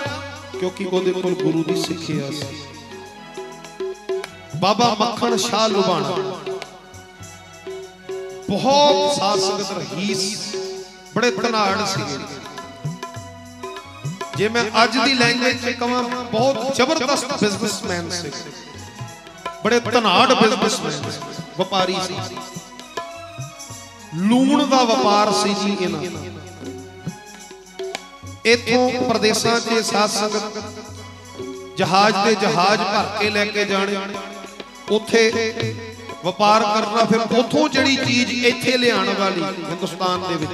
ਫਿਰ ਉਹ ਲੈ ਕੇ ਬਹੁਤ ਮੁਨਾਫੇ ਹੁੰਦੇ ਸੀ ਆਪਣੇ ਇਹਨਾਂ ਦੇ ਜਹਾਜ਼ ਸਨ ਆਪਣੇ ਜਹਾਜ਼। ਆਪਣੇ ਘੋੜੇ, ਆਪਣੇ ਊਠ। ਬਹੁਤ ਇਹਨਾਂ ਦਾ ਤਗੜਾ ਰਤਬਾ ਸੀ। ਮਾਇਆ ਬੜੀ, ਬਹੁਤ ਮਾਇਆ। ਔਰ ਕਿੰਨੇ ਕਿੰਨੇ ਸਾਧ ਸੰਗਤ ਇਹ ਸ਼ਸਤਰ ਬੰਦ ਸ਼ਰੀਰ ਆਪਣੇ ਨਾਲ ਰੱਖਦੇ ਸਨ। ਉਹ ਕਹਿ ਲੋ ਸਪਾਈ ਕਹਿ ਲੋ ਸ਼ਸਤਰ ਬੰਦ ਸ਼ਰੀਰ ਆਪਣੇ ਨਾਲ ਰੱਖਦੇ ਸਨ। ਆਪਣੀ ਸਿਕਿਉਰਿਟੀ ਲਈ। ਹਰ ਵੇਲੇ ਨਾਲ ਮਤਲਬ ਬੜਾ ਤਗੜਾ ਰਤਬਾ ਸੀ ਜੀ ਇਹਨਾਂ ਕਈ ਵਾਰੀ ਆਪਾਂ ਸਾਖੀ ਸੁਣ ਲੈਂਦੇ ਆ ਸਾਥ ਸਾਥ ਕੁਝ ਚੀਜ਼ਾਂ ਅੰਤਰੀਵ ਦੀਆਂ ਹੁੰਦੀਆਂ, ਸਾਨੂੰ ਨਹੀਂ ਪਤਾ ਇਹ ਜ਼ਿਲ੍ਹਾ ਜੇਲਮ ਦੇ ਟਾਂਡੇ ਸ਼ਹਿਰ ਦੇ ਰਹਿਣ ਵਾਲੇ ਸਨ। ਬਾਬਾ ਮੱਖਣ ਚਾਲੂ ਬਣ। ਗੁਰੂ ਘਰ ਦੇ ਬੜੇ ਅਨਲ ਸੇਵਕ ਸਨ। ਇਹਨਾਂ ਦੇ ਦਾਦਾ ਦੇ ਦਾਦਾ ਜੀ। ਇਹਨਾਂ ਦੇ ਦਾਦਾ ਉਹਨਾਂ ਦੇ ਦਾਦਾ ਜੀ, ਗੁਰੂ ਨਾਨਕ ਸਾਹਿਬ ਦੇ ਨਾਲ ਸੁਮੇਲ ਹੋਇਆ ਸੀ। ਉਦੋਂ ਸਿੱਖੀ ਗ੍ਰਹਿਣ ਕਰਕੇ ਸਿੱਖੀ ਦੇ ਵਿੱਚ ਆਏ ਸੀ। ਇਹ ਪਰਿਵਾਰ ਪਿੱਛੋਂ ਹੀ ਗੁਰੂ ਘਰ ਦੇ ਚਰਨਾਂ ਦੇ ਨਾਲ ਜੁੜਿਆ ਹੋਇਆ ਸੀ। ਸਤਿਗੁਰਾਂ ਦੇ ਚਰਨਾਂ ਦੇ ਨਾਲ ਜੁੜਿਆ ਸੀ। ਇਹਨਾਂ ਦੇ ਪਿਤਾ ਜੀ, ਬਾਬਾ ਮੱਖਣ ਸ਼ਾਹ ਲੁਬਾਣਾ ਜੀ ਦੇ ਪਿਤਾ ਜੀ, ਗੁਰੂ ਹਰ ਰਾਏ ਸਾਹਿਬ ਜੀ ਦੀ ਬਹੁਤ ਨੇੜਤਾ ਸੀ ਜੀ ਉਹਨਾਂ ਦੇ। ਬਹੁਤ ਔਰ ਕਿਹਾ ਜਾਂਦਾ ਇਤਿਹਾਸ ਲਿਖਦਾ ਜਦੋਂ ਪਿਤਾ ਜੀ ਦਾ ਜਦੋਂ ਦੇਹਾਂਤ ਹੋਇਆ ਚੜਾਈ ਤੇ ਗੁਰੂ ਹਰ ਰਾਏ ਸਾਹਿਬ ਮਹਾਰਾਜ ਜੀ ਨੇ ਆਪ ਸਾਸੰਗ ਚਿਖਾਂ ਨੂੰ ਲਾਂਬੋ ਦਿੱਤਾ ਸੀ, ਇਹਨਾਂ ਦੇ ਪਿਤਾ ਜੀ ਕਿ ਥੋੜਾ ਇਤਿਹਾਸ ਨੂੰ ਪਤਾ ਹੋਵੇ ਕਿ ਬਾਬਾ ਮੱਖਣ ਸ਼ਾਹ ਲੁਬਾਣਾ ਆਪਾਂ ਜਦੋਂ ਸਾਖੀ ਪੜ੍ਹਦੇ ਸੀਗੇ ਜਾਂ ਸੁਣਦੇ ਸੀਗੇ, ਅਸੀਂ ਬਿਲਕੁਲ ਹੀ ਅਣਜਾਣ ਕਰਤਾ ਸੀ ਬਈ, ਬੇੜਾ ਜਦੋਂ ਫਸਿਆ ਉਦੋਂ ਅਰਦਾਸ ਕੀਤੀ ਗੁਰੂ ਨਾਨਕ ਦੇ ਚਰਨਾਂ 'ਚ। ਨਹੀਂ, ਇਹ ਤਾਂ ਪਹਿਲੇ ਹੀ ਜੁੜੇ ਹੋਏ ਸੀ। ਪਿਛੋਕੜ ਹੀ ਇਹਨਾਂ ਦਾ ਗੁਰੂ ਨਾਨਕ ਸਾਹਿਬ ਦੇ ਚਰਨਾਂ ਦੇ ਨਾਲ ਗੁਰੂ ਘਰ ਦੇ ਨਾਲ ਜੁੜਿਆ ਹੋਇਆ ਸੀ। ਹੁਣ ਜਦੋਂ ਸਾਸਤ ਵਪਾਰ ਲਈ ਤੁਰੇ ਨੇ, ਕੋਈ ਐਸਾ ਸਮਾਂ ਬਣ ਗਿਆ ਕਿ ਤੂਫਾਨ ਦੇ ਵਿੱਚ ਜਹਾਜ਼ ਇਹਨਾਂ ਦਾ ਫਸ ਗਿਆ। ਔਰ ਬੜਾ ਤਗੜਾ ਤੂਫਾਨ ਦੇ ਵਿੱਚ ਉਹ ਜਹਾਜ਼ ਫਸਿਆ ਕੋਈ ਕਹਿੰਦਾ ਰੇਤੀ 'ਚ ਫਸਿਆ, ਕੋਈ ਕਹਿੰਦਾ ਤੂਫਾਨ 'ਚ ਫਸਿਆ। ਕਿਵੇਂ ਵੀ ਲੈ ਲਓ ਸਾਥ ਸੰਗਤ ਪਰ ਜ਼ਬਰਦਸਤ। ਹੁਣ ਬਚਣ ਦੀ ਉਮੀਦ ਕੋਈ ਨਹੀਂ। ਪੂਰਾ ਹੀਲਾ ਵਸੀਲਾ ਕਰ ਲਿਆ ਜੀ। ਜਹਾਜ਼ ਦੇ ਕਪਤਾਨ ਨੇ। ਹੋਰ ਜਿੰਨੇ ਸਿਪਾਹੀ ਇਹਨਾਂ ਦੇ ਨਾਲ, ਜਿੰਨੇ ਇਹਨਾਂ ਦੇ ਨਾਲ ਸਿੱਖ ਸੇਵਕੀ ਸਨ, ਇਹਨਾਂ ਦੀ ਪੂਰੀ ਜਿਹੜੀ ਸੇਵਕੀ ਸੀ ਇਹਨਾਂ ਦੀ, ਜਿਹੜਾ ਇਹਨਾਂ ਨੂੰ ਮੰਨਣ ਵਾਲੇ ਜਾਂ ਹੋਰ ਜਿਹੜੀ ਫੌਜ ਲੈ ਕੇ ਚੱਲਦੇ ਪੂਰਾ ਹੀਲਾ ਵਸੀਲਾ ਕੀਤਾ ਜਹਾਜ਼ ਨੂੰ ਬਚਾਉਣਾ ਪਰ ਗੱਲ ਬੜੀ ਆਪ ਮੱਖਣ ਸ਼ਾਹ ਲੁਬਾਣਾ ਵੀ ਲਗੇ ਰਹੇ। ਆ ਕਰੋ ਆ ਕਰੋ, ਇੰਜ ਕਰੋ। ਪਰ ਗੱਲ ਬਣੀ।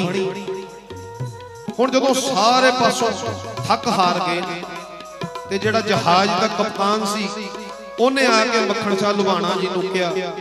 ਕਹਿੰਦੇ, ਸ਼ਾਹ ਜੀ, ਹੁਣ ਨਹੀਂ ਬਚਣਾ ਵੀ ਸਾਰੇ ਹੀਲੇ ਵਸੀਲੇ ਕਰ ਲਏ ਨੇ ਕਿ ਤੂਫਾਨ ਜ਼ਬਰਦਸਤ ਹੈ, ਨਹੀਂ ਬਚਦੇ, ਹੁਣ ਜਹਾਜ਼ ਗਿਆ ਜਿਹੜਾ ਮਾਲ ਅਸਬਾਬ, ਉਹ ਤਾਂ ਜਾਏਗਾ ਹੀ ਜਾਏਗਾ, ਸਾਡੀਆਂ ਜਾਨਾਂ ਵੀ ਜਾਣਗੀਆਂ।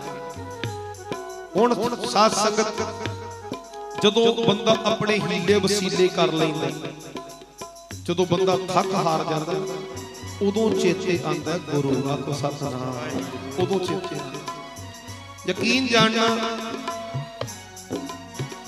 ਇਹ ਵੀ ਸ਼ੁਕਰ ਕਰੀਏ ਕਿ ਹੀਲੇ ਵਸੀਲੇ ਤੋਂ ਬਾਅਦ ਗੁਰੂ ਚੇਤੇ ਆ ਜਾਵੇ ਆਖੋ ਸਤਨਾਮ ਜਦੋਂ ਸਾਡੇ ਤੇ ਕੋਈ ਵਿਪਤਾ ਆਂਦੀ ਜਦੋਂ ਸਾਡੇ ਤੋਂ ਕੋਈ ਪਹਿਲੇ ਅਸੀਂ ਹੀਲੇ ਵਸੀਲੇ ਕਰਦੇ ਆ ਬਹੁਤ ਇਧਰ ਸਿਫਾਰਿਸ਼ ਲਾ ਆ ਕਰ, ਉਹ ਕਰ, ਇੰਜ ਕਰ। ਨਹੀਂ ਕੁਝ ਬਣਦਾ ਤੇ ਫਿਰ ਕਈ ਵਾਰੀ ਗੁਰੂ ਕੋਲ ਆਉਣ ਦੀ ਥਾਂ ਤੇ ਫਿਰ ਇੱਧਰ ਉੱਧਰ ਭਟਕਣਾ ਸ਼ੁਰੂ ਕਰ ਦਿੰਦੇ ਆ ਚਲੋ, ਹੀਲੇ ਵਸੀਲੇ ਕਰਨ ਤੋਂ ਬਾਅਦ ਜੇ ਕੋਈ ਗੁਰੂ ਕੋਲ ਵੀ ਆ ਗਿਆ ਤਾਂ ਮੁਬਾਰਕ। ਹੈ ਗੁਰੂ ਕੋਲ ਵੀ ਆ ਗਿਆ, ਭਟਕਿਆ, ਭੂਲਾ ਭਟਕਾ ਵੀ ਆ ਗਿਆ। ਮੇਰੇ ਸਾਹਿਬ ਕਹਿੰਦੇ ਨੇ, ਕਹਿੰਦੇ ਜਿਸ ਪਾਪੀ ਕੋ ਬਿਲੇ ਨਾ ਢੋਈ ਸ਼ਰਨ ਆਵੇ ਤਾਂ ਨਿਰਮਲ ਹੋਏ ਸ਼ਰਨ ਆਵੇ ਤਾਂ ਨਿਰਮਲ ਹੋਏ ਉਹ ਜਦੋਂ ਸ਼ਰਨ ਆ ਜਾਏਗਾ, ਆਪੇ ਸਤਿਗੁਰ ਨੇ ਲਾਜ ਰੱਖ ਲੈਣਾ। ਹੁਣ ਸਾਧ ਸੰਗਤ ਜਦੋਂ ਚਾਰੋਂ ਪਾਸੋਂ ਨਿਰਾਸ਼ਤਾ, ਤੇ ਮੱਖਣ ਸ਼ਾਹ ਲੁਬਾਣਾ ਜੀ ਕਹਿਣ ਲੱਗੇ, ਕਹਿੰਦੇ ਆਪਣੇ ਕਪਤਾਨ ਨੂੰ, ਜਿਹੜੇ ਜਹਾਜ਼ ਦਾ ਕਪਤਾਨ ਸੀ, ਸਾਰਿਆਂ ਨੂੰ ਬੁਲਾ ਲਿਆ ਕਹਿੰਦੇ ਕਰ ਲੈ ਹੀਲੇ ਵਸੀਲੇ। ਕਹਿੰਦੇ ਜੀ ਹੋ ਹੁਣ ਪੱਕੀ ਗੱਲ ਹੈ, ਜਹਾਜ਼ ਨੇ ਡੁੱਬਣਾ ਹੈ। ਜੀ ਡੁੱਬਣਾ ਕੋਈ ਹੀਲਾ ਵਸੀਲਾ ਹੋਰ ਰਹਿ ਗਿਆ ਹੋਵੇ ਕਹਿੰਦੇ ਜੀ ਬਸ ਹੁਣ ਸਮਝ ਲਓ ਕਿ ਗਏ। ਕਹਿੰਦੇ ਹੁਣ ਗਏ। ਬਹਿ ਜਾਓ ਸਾਰੇ। ਬਹਿ ਜਾਓ। ਬਹਿ ਜਾਓ। ਹਾਂ ਬਈ ਬਹਿ ਜਾਓ। ਆਓ। ਹੁਣ ਧੰਨ ਗੁਰੂ ਨਾਨਕ ਸਾਹਿਬ ਦੇ ਚਰਨਾਂ 'ਚ ਅਰਦਾਸ ਬੇਨਤੀਆਂ ਕਰੀਆ ਕੋ ਸਤਨਾਮ। ਹੋਏਗਾ ਖਸਮ ਤਾਂ ਲੇਗਾ ਰਾਤ ਬਾਬਾ ਕਬੀਰ ਜੀ ਕਹਿੰਦੇ ਕਹਿੰਦੇ ਕਹੋ ਕਬੀਰ ਅੱਖਰ ਦੋਏ ਭਾਗ। ਅੱਖਰ ਦੋਏ ਭਾਗ ਹੋਏਗਾ ਖਸਮ ਤਾਂ ਲੇਗਾ ਕਹਿੰਦੇ ਮੇਰਾ ਖਸਮ ਹੈਗਾ। ਹੈਗਾ ਮੇਰਾ ਖਸਮ ਤੇ ਮੈਨੂੰ ਰੱਖੇਗਾ ਹੀ ਰੱਖੇਗਾ। ਆ ਯਕੀਨ ਹੋਵੇ ਸਾਨੂੰ ਸਾਧ ਸੰਗਤ ਮੇਰਾ ਗੁਰੂ ਨਾਨਕ ਹੈਗਾ ਤੇ ਮੈਨੂੰ ਰੱਖੇਗਾ ਹੀ ਰੱਖੇਗਾ ਕੋ ਸਤਨਾਮ।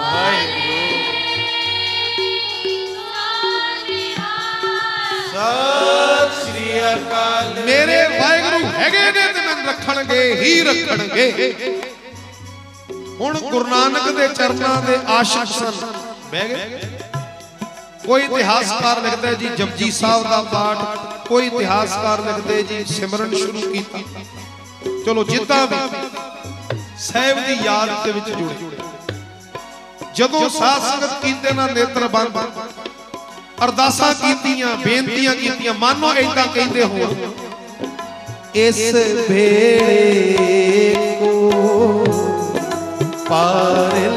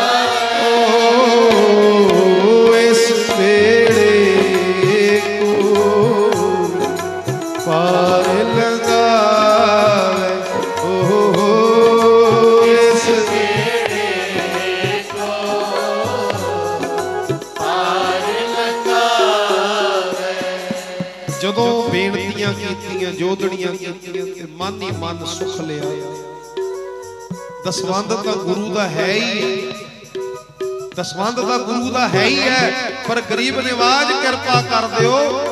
500 ਮੋਹਰਾਂ ਨਾਲ 500 ਮੋਹਰਾਂ ਨਾਲ ਦਿਆਂਗਾ ਗਰੀਬ ਨਿਵਾਜ। ਕਿਰਪਾ ਕਰ ਦਿਓ। ਕਿਰਪਾ ਕਰ ਦਿਓ।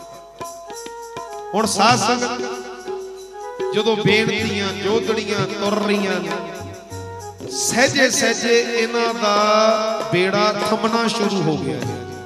ਥੰਮਣਾ ਸ਼ੁਰੂ ਹੋ ਗਿਆ।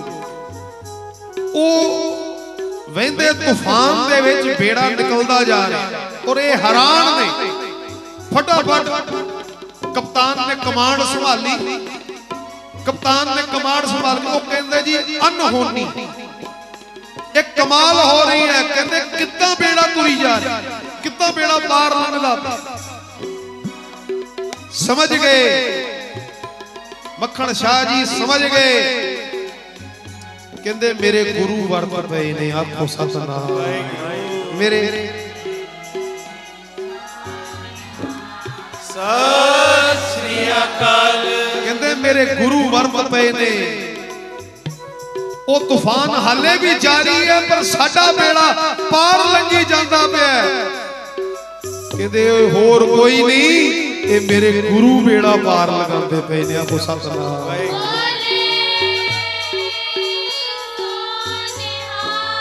ਸਤਿ ਸ੍ਰੀ ਅਕਾਲ। ਇਹ ਮੇਰੇ ਗੁਰੂ ਬੇੜਾ ਪਾਰ ਲੰਘਾਉਂਦੇ ਹੁਣ ਸਾਧ ਸੰਗਤ ਜਦੋਂ ਬੇੜਾ ਲੰਘ ਗਿਆ, ਪਾਰ ਹੋ ਗਿਆ ਆਪਣਾ ਸਮਾਨ ਸਾਰਾ ਵੇਚ ਕੇ ਹੋਰ ਕਿਵੇਂ ਵੀ ਸਾਧ ਜੋ ਪ੍ਰੋਫਿਟ ਹੋਇਆ, ਉਹਦਾ ਦਸਵੰਦ ਕੱਢ ਕੇ ਨਾਲ 500 ਮੋਹਰਾਂ ਲਈਆਂ। ਤੇ ਕਿੱਥੇ ਗਏ? ਦਿੱਲੀ। ਦਿੱਲੀ ਗਏ ਗੁਰੂ ਹਰਕ੍ਰਿਸ਼ਨ ਸਾਹਿਬ ਮਹਾਰਾਜ ਜੀਆਂ ਦੇ ਚਰਨਾਂ 'ਚ। ਪਰ ਜਦੋਂ ਦਿੱਲੀ ਪਹੁੰਚੇ ਨੇ ਤੇ ਪਤਾ ਲੱਗਾ ਕਿ ਗੁਰੂ ਹਰਕ੍ਰਿਸ਼ਨ ਸਾਹਿਬ ਮਹਾਰਾਜ ਚੋਲਾ ਬਦਲ ਗਏ। ਤੇ ਆਪਣੀ ਜੋਤ ਬਾਬਾ ਬਕਾਲੇ ਜਗਮਗ ਜਗਮਗ ਕਰਵਾ ਕੇ, ਟਕਾ ਕੇ। ਤੇ ਆ ਬਚਨ ਕਰ ਗਏ ਬਾਬਾ ਬਸੇ ਗ੍ਰਾਮ ਬਕਾਲੇ। ਆਖੋ ਸਤਨਾਮ। ਬਾਬਾ, ਬਸੇ, ਗ੍ਰਾਮ ਬਕਾਲੇ ਬਾਬਾ ਤੋਂ ਭਾਵ ਸੀ ਦਾਦਾ ਜੀ। ਗੁਰੂ ਤੇਗ ਬਹਾਦਰ ਸਾਹਿਬ ਮਹਾਰਾਜ, ਗੁਰੂ ਹਰਕ੍ਰਿਸ਼ਨ ਸਾਹਿਬ ਮਹਾਰਾਜ ਦੇ ਦਾਦਾ ਜੀ ਲੱਗਦੇ ਸਨ। ਬਾਬਾ ਗੁਰਦਿੱਤਾ ਜੀ ਸਾਧ ਸੰਗਤ ਗੁਰਦਿੱਤਾ ਜੀ, ਉਹਨਾਂ ਦੇ ਪੋਤਰੇ ਸਨ ਗੁਰੂ ਹਰਕ੍ਰਿਸ਼ਨ ਸਾਹਿਬ ਮਹਾਰਾਜ। ਤੇ ਗੁਰਦਿੱਤਾ ਜੀ ਜਿਹੜੇ ਸਨ, ਉਹ ਗੁਰੂ ਤੇਗ ਬਹਾਦਰ ਸਾਹਿਬ ਦੇ ਭਰਾਤਾ ਸਨ। ਭਰਾਤਾ ਸਨ। ਉਸ ਰਿਸ਼ਤੇ ਦੇ ਮੁਤਾਬਕ ਦਾਦਾ ਜੀ ਲੱਗੇ ਗੁਰ ਤੇਗ ਬਹਾਦਰ ਸਾਹਿਬ ਮਹਾਰਾਜ। ਤੇ ਦਾਦੇ ਨੂੰ ਬਾਬਾ ਕਿਹਾ ਜਾਂਦਾ ਸੀ। ਇਸ਼ਾਰਾ ਦੇਤਾ ਬਾਬਾ ਬਸੇ ਗ੍ਰਾਮ ਬਕਾਲੇ। ਹੁਣ ਸਾਸ ਜਦੋਂ ਇਹ ਪਤਾ ਲੱਗਾ ਬਾਬਾ ਵਸੇ ਗ੍ਰਾਮ ਬਕਾਲੇ, ਉੱਥੇ ਹੁਣ ਮੰਜੀਆਂ ਲੱਗਣੀਆਂ ਸ਼ੁਰੂ ਹੋ ਗਈਆਂ। ਜਿਹੜੇ ਨਕਲੀ ਫਕਲੀ ਸਾਰੇ ਸਾਧ ਸੰਗਤ ਆ ਕੇ ਅਸੀਂ ਗੁਰੂ ਅਸੀਂ ਗੁਰੂ, ਅਸੀਂ ਧੀਰ ਮਲੀਆ ਜਿਹੜਾ, ਉਹ ਵੀ ਆਪਣਾ ਡੇਰਾ ਡੋਰਾ ਲਾ ਕੇ ਬਹਿ ਗਿਆ। ਕਿਉਂਕਿ ਧੀਰ ਮਲੀਏ ਕੋਲ ਗੁਰੂ ਗ੍ਰੰਥ ਸਾਹਿਬ ਮਹਾਰਾਜ ਜੀ ਉਸ ਵੇਲੇ ਸਾਧ ਸੰਗਤ ਗੁਰੂ ਗ੍ਰੰਥ ਸਾਹਿਬ ਮਹਾਰਾਜ ਉਹਦੇ ਕੋਲ ਉਹਨੇ ਪ੍ਰਕਾਸ਼ ਕਰਕੇ ਆਸਣ ਲਾ ਲਿਆ ਆਪਣਾ ਕਿ ਭਾਈ ਜਿਹਦੇ ਕੋਲ ਗੁਰੂ ਗ੍ਰੰਥ ਸਾਹਿਬ ਮਹਾਰਾਜ ਨੇ, ਜਿਹਦੇ ਕੋਲ ਉਦੋਂ ਗੁਰੂ ਪਦਵੀ ਨਹੀਂ ਸੀ। ਉਦੋਂ ਗੁਰੂ ਪਦਵੀ, ਮੈਨੂੰ ਗੁਰੂ ਗ੍ਰੰਥ ਸਾਹਿਬ ਮਹਾਰਾਜ, ਮੈਂ ਮੈਂ ਗੁਰੂ ਗ੍ਰੰਥ ਸਾਹਿਬ ਮਹਾਰਾਜ ਹੀ ਬੋਲਦਾ ਤੇ ਜਿਹਦੇ ਕੋਲ ਉਸ ਵੇਲੇ ਗੁਰੂ ਗ੍ਰੰਥ ਸਾਹਿਬ ਮਹਾਰਾਜ ਉਹ ਇਹ ਸ਼ੋਅ ਕਰਦਾ ਸੀ ਕਿ ਬਈ ਮੈਂ ਗੁਰੂ ਪਦਵੀ ਦੀ ਮੇਰੇ ਕੋਲ ਗੁਰੂ ਗ੍ਰੰਥ ਸਾਹਿਬ ਮਹਾਰਾਜ ਜ਼ਿਆਦਾਤਰ ਭੀੜ ਇਹਦੇ ਸ਼ਿਵਰ ਤੇ ਲੱਗੀ ਹੁੰਦੀ ਸੀ, ਧੀਰ ਮੱਲੀਏ ਤੇ ਬਾਕੀ ਹੋਰ ਬੜੀਆਂ ਮੰਜੀਆਂ ਲਾ ਕੇ ਬਹਿ ਗਏ, ਅਸੀਂ ਗੁਰੂ ਅਸੀਂ ਗੁਰੂ, ਅਸੀਂ ਜਦੋਂ ਪਤਾ ਲੱਗਾ, ਸਾਰੀ ਮਾਇਆ ਲਈ ਲੋ ਲਸ਼ਕਰ ਲਿਆ, ਪਦਾਰਥ ਲਏ ਤੇ ਪਹੁੰਚ ਗਏ ਜੀ ਬਾਬਾ ਬਕਾਲੇ। ਥੋੜਾ ਸ਼ਹਿਰ ਤੋਂ ਬਾਹਰ ਆਪਣਾ ਡੇਰਾ ਲਾ ਲਿਆ। ਡੇਰਾ ਲਾ ਲਿਆ ਤੇ ਹੁਣ ਭੇਜਿਆ ਕਿ ਬਈ ਦੇਖ ਕੇ ਆਓ ਕੀ ਸੀਨ ਚੱਲਦਾ ਪਿਆ। ਜਦੋਂ ਸਾਧ ਸੰਗਤ ਉਹਨਾਂ ਦਾ ਸੇਵਕ ਗਿਆ ਨਾ, ਬਾਬਾ ਮੱਖਣ ਸ਼ਾਹ ਲਵਾਣਾ ਜੀ ਉਹ ਕਹਿੰਦੇ, ਸ਼ਾਹ ਜੀ, ਇੱਥੇ ਤਾਂ ਗੁਰੂ ਹੀ ਬੜੇ ਨੇ। ਉਹ ਇੱਥੇ ਤਾਂ ਗੁਰੂ ਹੀ ਬੜੇ ਬੜੇ ਬੈਠੇ ਨੇ। ਕਿਵੇਂ ਗੱਲ ਬਣੇਗੀ? ਕਿਵੇਂ ਪਤਾ ਲੱਗੇਗਾ ਕਿ ਸੱਚਾ ਗੁਰੂ ਕਿਹੜਾ ਹੈ? ਸੱਚਾ ਗੁਰੂ ਕਿਹੜਾ ਕਹਿੰਦੇ ਸੱਚਾ ਗੁਰੂ ਜਿਹੜਾ ਹੋਏਗਾ ਫਿਰ ਬੁੱਝ ਲੈ। ਆਖੋ ਸਤਨਾਮ ਬੁੱਝ ਲੈ। ਇੱਕ ਜੋਰੀ ਬਣ ਕੇ ਅੱਜ ਬਾਬਾ ਮੱਖਣ ਸ਼ਾਹ ਲੁਬਾਣਾ ਜੀ ਸਾਸੰਗ ਜੋਰੀ ਬਣ ਕੇ ਗੁਰੂ ਦੀ ਪਰਖ ਕਰਨ ਵਾਸਤੇ ਅੱਜ ਬਕਾਲੇ ਪਹੁੰਚੇ ਨੇ ਆਖੋ ਸਤਨਾਮ। ਜੋਰੀ ਦੀ ਨਿਗਾਹ ਰੱਖ ਕੇ ਆਏ ਸਾਡੇ ਅੱਗੇ ਹੁਣ ਸਾਧ ਸੰਗਤ ਹੀਰੇ ਰੱਖ ਦਿਓ ਤੇ ਕੱਚ ਰੱਖ ਦਿਓ। ਸਾਨੂੰ ਨਹੀਂ ਪਛਾਣ ਹੋਣੀ। ਉਹ ਕੱਚ ਨੂੰ ਹੀਰੇ ਦੀ ਸ਼ੇਪ ਦੇ ਕੇ ਰੱਖ ਦਿਓ ਸਾਡੇ ਅੱਗੇ ਸਾਨੂੰ ਪਛਾਣ ਚੋਰੀ ਦੇ ਅੱਗੇ ਰੱਖ ਦਿਓ ਮਿੰਟ 'ਚ ਪਛਾਣ ਜਾਊ ਕਿ ਹੀਰਾ ਕਿਹੜਾ ਤੇ ਕੱਚ ਕਿਹੜਾ ਕੱਚ ਨੂੰ ਮਾਰੇਗਾ ਪਾਸੇ ਹਟ। ਇਹ ਕੱਚ ਹੈ ਆ ਹੀਰਾ, ਇਹਨੂੰ ਸੰਭਾਲ ਲਓ ਆਖੋ ਸਤਨਾਮ। ਤੇ ਅੱਜ ਜੌਹਰੀ ਬਣ ਕੇ ਬਾਬਾ ਬਕਾਲੇ ਮੱਖਣ ਸ਼ਾਹ ਲੁਬਾਣਾ ਆਏ। ਕੱਚਾਂ ਵਿੱਚੋਂ, ਕੱਚ ਦੇ ਵਿੱਚੋਂ ਹੀਰਾ ਚੁਣਨ ਲਈ ਆਏ ਨੇ ਆਖੋ ਸਤਨਾਮ। ਹੀਰਾ ਪ੍ਰਗਟ ਕਰਨ ਲਈ ਆਏ ਨੇ। ਹੀਰਾ ਪ੍ਰਗਟ ਕਰਨ ਵਾਸਤੇ ਆਏ। ਲਓ ਜੀ ਸਭ ਤੋਂ ਪਹਿਲਾਂ ਧੀਰ ਮਲੀਏ ਦੇ ਕੋਲ ਉੱਥੇ ਗਏ ਧੀਰ ਮਲੀਏ। ਪੰਜ ਮੋਹਰਾਂ ਰੱਖੀਆਂ। ਬੜਾ ਸਤਕਾਰ ਕੀਤਾ ਜੀ ਧੀਰ ਮਲੀਏ ਨੇ ਸਰੋਪਾ ਦਿੱਤਾ ਹੋਰ ਸਤਕਾਰ ਦਿੱਤਾ। ਪਤਾ ਸੀ ਬੜਾ ਧਨਾੜ ਬੰਦਾ ਹੈ। ਮਾਲਦਾਰ ਅਸਾਮੀ ਹੈ। ਮੱਖਣ ਸ਼ਾਹ ਲੁਹਾਣਾ। ਬੜਾ ਰੁਤਬਾ ਹੈ ਬੜੀ ਸੇਨਾ ਨਾਲ ਵੀ ਰੱਖਦਾ ਸ਼ਸਤਰ ਧਾਰੀ ਨਾਲ ਰੱਖਦਾ। ਤੇ ਹਰ ਕੋਈ ਚਾਹੁੰਦਾ ਸੀ ਵੀ ਇਹ, ਚਲੋ ਮੈਂ ਸਿੱਧੀ ਜੀ ਲੈਂਗੁਏਜ ਚ ਕਹਿ ਰਿਹਾ, ਸਾਡਾ ਗਾਹਕ ਬਣ ਜਾਏ ਆਖੋ ਸਤਨਾਮ ਹੈ ਉਹ ਹਰ ਬੰਦਾ ਘੇਰਨਾ ਚਾਹੁੰਦਾ ਸੀ। ਬਾਬਾ ਮੱਖਣ ਸ਼ਾਹ ਲੁਹਾਣਾ ਜੀ ਨੇ ਪੰਜ ਮੋਹਰਾਂ ਰੱਖੀਆਂ। ਪੰਜ ਮੋਹਰਾਂ ਰੱਖ ਕੇ ਅੰਦਰ ਹੀ ਅਰਦਾਸ ਕੀਤੀ, ਧੰਨ ਗੁਰੂ ਨਾਨਕ ਸਾਹਿਬ ਮਹਾਰਾਜ। ਆਪ ਜੀ ਦੀ ਨੌਵੀਂ ਜੋਤ ਜਿੱਥੇ ਸੱਚੇ ਪਾਤਸ਼ਾਹ ਆਪ ਹੀ ਕਿਰਪਾ ਕਰਕੇ ਮੇਰੀ ਸੁਖਣਾ ਦੀਆਂ ਮੋਹਰਾਂ ਮੰਗ ਗਰੀਬ ਨਵਾਜ ਕਿਰਪਾ ਕਰਨੀ, ਜਿਹੜਾ ਸੱਚਾ ਹੋਏਗਾ, ਆਪੇ ਹੀ ਆਪੇ ਹੀ ਮੇਰੇ ਕੋਲੋਂ ਸੁਖਣਾ ਦੀਆਂ ਮੋਹਰਾਂ ਗਰੀਬ ਨਵਾਜ ਕਿਰਪਾ ਕਰ। ਹੁਣ ਜਦੋਂ ਨੇਤਰ ਬੰਦ ਕਰਕੇ ਅਰਦਾਸ ਕੀਤੀ ਤੇ ਧੀਰ ਮਲ ਸੋਚਣ ਲੱਗਾ ਵੀ ਮੇਰੇ ਅੱਗੇ ਅਰਦਾਸ ਕਰਦਾ ਪਿਆ ਸਤਨਾਮ। ਉਹ ਖੁਸ਼ ਹੋ ਗਿਆ ਬਈ ਸਾਡਾ ਗਾਹਕ ਬਣ ਗਿਆ। ਤੇ ਕਹਿਣ ਲੱਗੇ ਸ਼ਾਹ ਜੀ ਆਓ ਬੈਠੋ। ਜਦੋਂ ਉਹਨੇ ਸਾਸ ਸਰੋਪਾ ਦਿੱਤਾ, ਹੋਰ ਚੀਜ਼ ਬੜੀ ਚੜ੍ਹਦੀ ਕਲਾ ਹੋਵੇ ਤੁਹਾਡੀ ਮੱਖਣ ਸ਼ਾਹ ਸਮਝ ਗਏ ਬਈ, ਇਹ ਸੱਚਾ ਗੁਰੂ ਨਹੀਂ ਆਪ ਸਤਨਾਮ। ਕਹਿੰਦੇ ਜੀ, ਆਗਿਆ ਦਿਓ। ਬੜੇ ਇੱਥੇ ਗੁਰੂ ਬੈਠੇ ਨੇ, ਹੁਣ ਸਾਰਿਆਂ ਨੂੰ ਜਾ ਕੇ ਮਾੜਾ ਮਾੜਾ ਮੱਠਾ ਟੇਕ ਆਈ। ਸਾਰਿਆਂ ਕੋਲ ਜਾ ਕੇ ਕਿਸੇ ਦੇ ਅੱਗੇ ਦੋ ਮੋਹਰਾਂ ਕਿਸੇ ਦੇ ਅੱਗੇ ਪੰਜ ਮੋਹਰਾਂ ਕਿਤੇ ਦੋ ਮੋਹਰਾਂ ਕਿਤੇ ਪੰਜ ਮੋਹਰਾਂ ਕਿਤੋਂ ਨਾ ਆਵਾਜ਼ ਆਈ। ਆਵਾਜ਼ ਕਿਤੋਂ ਵੀ ਨਹੀਂ ਆਈ। ਹੁਣ ਇਹ ਜੋਰੀ ਨਿਰਾਸ਼। ਬਈ ਸਾਰੇ ਹੀ ਕੱਚ ਨੇ। ਸਾਰੇ ਹੀ ਕੱਚ ਨੇ ਉਹ ਕੱਚ ਦੇ ਵਿੱਚ ਕੋਈ ਹੀਰਾ ਹੈ। ਇਹ ਯਕੀਨ ਸੀ ਹੀਰਾ ਇੱਥੇ ਹੀ ਹੈ। ਕਿਉਂ? ਮੇਰੇ ਧੰਨ ਗੁਰੂ ਹਰਕ੍ਰਿਸ਼ਨ ਸਾਹਿਬ ਕਹਿ ਗਏ ਨੇ ਬਾਬਾ ਬਸੇ ਗ੍ਰਾਮ ਬੱਕਲ ਹੀਰਾ ਇੱਥੇ ਹੋਏਗਾ ਇਹ ਕੱਚਾ ਚ ਹੀ ਹੋਏਗਾ। ਪਰ ਕੱਚ ਸਾਰੇ ਵੇਖ ਆਏ ਆ। ਇਹ ਸਾਰੀਆਂ ਮੰਦੀਆਂ ਨੂੰ ਪਰਖ ਆਏ ਆ। ਗੱਲ ਬੜੀ। ਸਾਰੇ ਗੁਰੂਆਂ ਨੂੰ ਮਿਲ ਆਏ ਗੱਲ ਬੜੀ ਕਹਿੰਦੇ, ਪਤਾ ਕਰੋ, ਆਪਣੇ ਸੇਵਕ ਦੌੜਾਏ। ਕਹਿੰਦੇ, ਪਤਾ ਕਰੋ, ਕਿਤੇ ਕੋਈ ਹੋਰ ਵੀ ਕੋਈ ਬੈਠਾ ਹੋਵੇ ਤਪੀ, ਜਪੀ, ਜਿਹੜਾ ਜਪ ਤਪ ਕਰਦਾ ਪਿਆ ਹੋਵੇ। ਜਦੋਂ ਪਤਾ ਕੀਤਾ ਤੇ ਪਤਾ ਲੱਗਿਆ ਜੀ ਕਿ ਤੇਗ ਬਹਾਦਰ ਸਾਹਿਬ ਇੱਥੇ ਬਾਬਾ ਬਕਾਲੇ ਦੀ ਧਰਤੀ ਤੇ ਤਪ ਕਰਦੇ ਪਏ। ਕਿਉਂਕਿ ਗੁਰੂ ਹਰਗੋਬਿੰਦ ਸਾਹਿਬ ਮਹਾਰਾਜ ਸੱਚੇ ਪਾਤਸ਼ਾਹ ਜੀ ਨੇ, ਜਦੋਂ ਗੁਰੂ ਹਰਰਾਏ ਸਾਹਿਬ ਮਹਾਰਾਜ ਜੀਆਂ ਨੂੰ ਗੁਰਤਾ ਗੱਦੀ ਦਿੱਤੀ ਸੀ, ਉਦੋਂ ਸਾਥ ਸਾਥ ਥੋੜੇ ਚਿਰਾਂ ਬਾਅਦ ਹੀ ਗੁਰੂ ਹਰਗੋਬਿੰਦ ਸਾਹਿਬ ਮਹਾਰਾਜ ਜੀਆਂ ਨੇ ਗੁਰੂ ਤੇਗ ਬਹਾਦਰ ਸਾਹਿਬ ਮਹਾਰਾਜ ਜੀ ਇਹਨਾਂ ਦੇ ਮਾਤਾ ਜੀ, ਮਾਤਾ ਨਾਨਕੀ ਜੀ ਇਹਨਾਂ ਦੇ ਘਰੋਂ ਮਾਤਾ ਗੁਜਰੀ ਇਹਨਾਂ ਸਾਰਿਆਂ ਨੂੰ ਬਕਾਲੇ ਭੇਜਦਾ ਸੀ। ਬਕਾਲੇ ਗੁਰੂ ਤੇਗ ਬਹਾਦਰ ਸਾਹਿਬ ਜੀ ਦੇ ਨਾਨਕੇ ਸੀ। ਉਦੋਂ ਹੀ ਭੇਜ ਦਿੱਤਾ ਸੀ ਤੇ ਉਦੋਂ ਦੇ ਹੀ ਸਾਧ ਸੰਗਤ ਇੱਥੇ ਵਸਦੇ ਪਏ ਸਨ ਗੁਰੂ ਤੇਗ ਬਹਾਦਰ ਇੱਥੇ ਭਗਤੀ ਕਰਦੇ ਪਏ ਸਨ। ਹੁਣ ਜਦੋਂ ਪਤਾ ਲੱਗਾ ਕਿ ਬਈ ਤੇਗ ਬਹਾਦਰ ਗੁਰੂ ਹਰਗੋਬਿੰਦ ਸਾਹਿਬ ਮਹਾਰਾਜ ਸੱਚੇ ਪਾਤਸ਼ਾਹ ਜੀ ਦੇ ਸੁਪੁੱਤਰ, ਇੱਕ ਵਾਰੀ ਮਨ ਮੰਨ ਗਿਆ ਕਿ ਹੋ ਸਕਦਾ ਹੈ ਗੁਰੂ ਜੋਤ ਉਹਨਾਂ ਵਿੱਚ ਤਾਂ ਨਹੀਂ। ਮਨ ਮੰਨ ਗਿਆ, ਪਰ ਕਹਿੰਦੇ ਨਹੀਂ, ਪਰਖੇ ਬਿਨਾ ਗੱਲ ਨਹੀਂ ਬਣਨੀ ਕਿਧਰੇ ਇਹ ਵੀ ਕਾਚੀ ਨਾ ਨਿਕਲਣ। ਹੁਣ ਜਦੋਂ ਬਾਹਰ ਗਏ ਤੇ ਮਾਤਾ ਗੁਜਰੀ ਜੀ ਬਾਹਰ ਬੈਠੇ ਨੇ ਪੈਰੇ ਤੇ ਅੰਦਰ ਸਾਧ ਸੰਗਤ ਧੰਨ ਗੁਰੂ ਤੇਗ ਬਹਾਦਰ ਸਾਹਿਬ ਮਹਾਰਾਜ ਭੋਰੇ ਦੇ ਵਿੱਚ ਬੈਠੇ ਨੇ। ਭੋਰਾ ਜਸਟ ਕਹਿ ਲੋ ਸਾਧ ਸੰਗਤ ਜਸਟ ਐਜ਼ ਅ ਬੇਸਮੈਂਟ ਕਹਿ ਲੋ ਨੀਚੇ ਆਪਾਂ ਬੇਸਮੈਂਟ ਉਤਰਦੇ ਹਾਂ ਉਹਨੂੰ ਭੋਰਾ ਕਹਿ ਲੋ ਅੰਦਰ ਬੇਸਮੈਂਟ ਦੇ ਕੋਈ ਕਮਰਾ ਕਹਿ ਲੋ ਇਦਾਂ ਉਦੋਂ ਜਗ੍ਹਾ ਨੀਵੀਂ।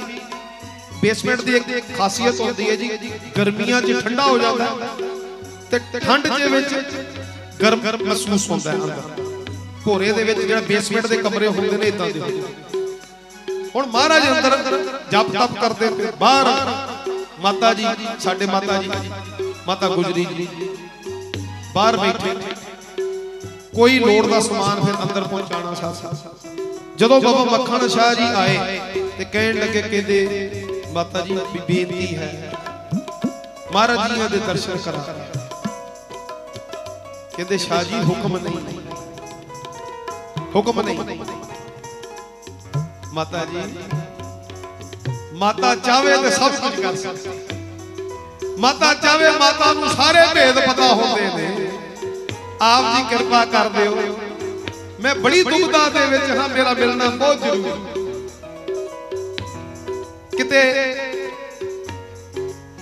ਦੂਜੀ ਗੱਲ ਨਾ ਬਣ ਜਾਵੇ ਸ਼ਾਹ ਜੀ ਮੱਖਣ ਸ਼ਾਹ ਜੀ ਕਿਤੇ ਦੂਜੀ ਗੱਲ ਮਾਤਾ ਜੀ ਸਾਂਭ ਲਿਓ।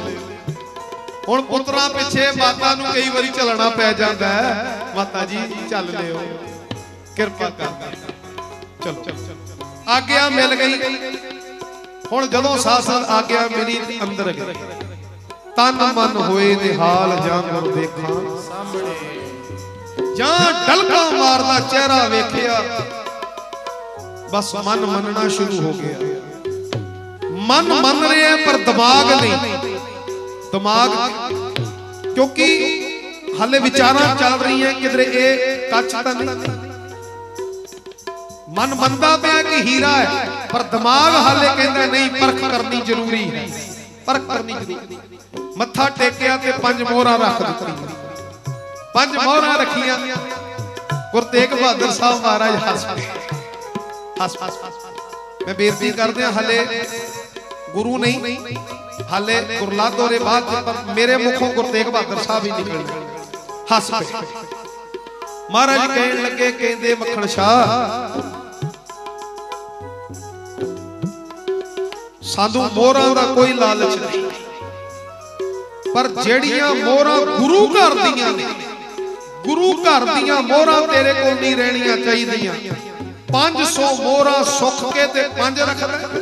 ਜਿਹੜੀ ਗੁਰੂ ਦੀ ਅਮਾਨਤ ਹੈ, ਸਿੱਖ ਆਪਣੇ ਕੋਲ ਨਹੀਂ ਰੱਖ ਸਕਦਾ ਆਖੋ ਨਹੀਂ ਰੱਖ ਸਕਦਾ। ਜਦੋਂ ਇੰਨੀ ਗੱਲ ਸੁਣੀ ਤੇ ਹੈਰਾਨ ਹੋ ਗਏ। ਬਸ ਮਨ ਹੁਣ ਦਿਮਾਗ ਹੀ ਬੰਨਣਾ ਸ਼ੁਰੂ ਹੋ ਗਿਆ। ਇਹੀ ਫਿਰ ਇੱਕਦਮ ਧਿਆਨ ਆਇਆ ਨਹੀਂ ਨਹੀਂ। ਕਿਤੇ ਧੋਖਾ ਨਾ ਹੋ ਜਾਏ, ਮੈਂ ਹੋਰ ਪਰਖ ਲਵਾਂ। ਕਿਤੇ ਧੋਖਾ ਨਾ ਹੋ ਜਾਏ। ਕਹਿੰਦੇ ਜੀ, ਕਿਹੜੀਆਂ 500 ਮੋਹਰਾਂ? ਮਹਾਰਾਜ ਹੱਸ ਪਏ ਹੱਸ ਕੇ ਕਹਿਣ ਲੱਗੇ, ਕਹਿੰਦੇ ਸਾਨੂੰ ਮੋਹਰਾਂ ਦਾ ਲਾਲਚ ਨਹੀਂ, ਪਰ ਗੁਰੂ ਦੀ ਅਮਾਨਤ ਸਿੱਖ ਕੋਲ ਨਹੀਂ ਰਹਿਣੀ ਚਾਹੀਦੀ। ਕਹਿੰਦੇ, ਇਹ ਉਹ ਮੋਹਰਾਂ ਜਿਹੜੀਆਂ ਤੂੰ ਸੁਖੀਆਂ ਸਨ ਉਸ ਵੇਲੇ, ਜਦੋਂ ਤੇਰਾ ਬੇੜਾ ਡੁੱਬਦਾ ਪਿਆ ਸੀ। ਤੇ ਗੁਰੂ ਨਾਨਕ ਦੇ ਚਰਨਾਂ 'ਚ ਬੇਨਤੀ ਲਾਈ ਸੀ ਤੇ ਸਾਨੂੰ ਆ ਕੇ, ਸਾਨੂੰ ਆ ਕੇ ਤੇਰਾ ਬੇੜਾ ਪਾਰ ਕਰਨਾ ਪਿਆ ਸੀ ਆਖੋ ਸਤਨਾਮ। ਬੇੜਾ ਪਾਰ ਕਰਨਾ। ਪਿਆ ਮਨ ਹੋਰ ਮੰਨ ਗਿਆ। ਕਿ ਕੋਈ ਸ਼ਕਤੀ ਤਾਂ ਸੀ ਜਿਹਨੇ ਬੇੜਾ ਪਾਰ ਕੀਤਾ ਸੀ।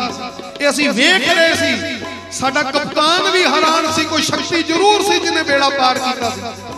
ਔਰ ਇਹ ਉਹੀ ਗੱਲ ਕਰਦੇ ਪਏ ਨੇ। ਮਨ ਵੀ ਮੰਨ ਰਿਹਾ, ਦਿਮਾਗ ਵੀ ਮੰਨ ਰਿਹਾ, ਕਹਿੰਦੇ ਨਹੀਂ, ਕਿਧਰੇ ਧੋਖਾ ਨਾ ਹੋ ਜੇ, ਇੱਕ ਵਾਰੀ ਹੋਰ ਪਰਖ ਲਵਾਂ। ਕਹਿੰਦੇ ਮਹਾਰਾਜ ਜੀ, ਤੁਸੀਂ ਬਕਾਲੇ ਬੈਠੇ ਹੋ।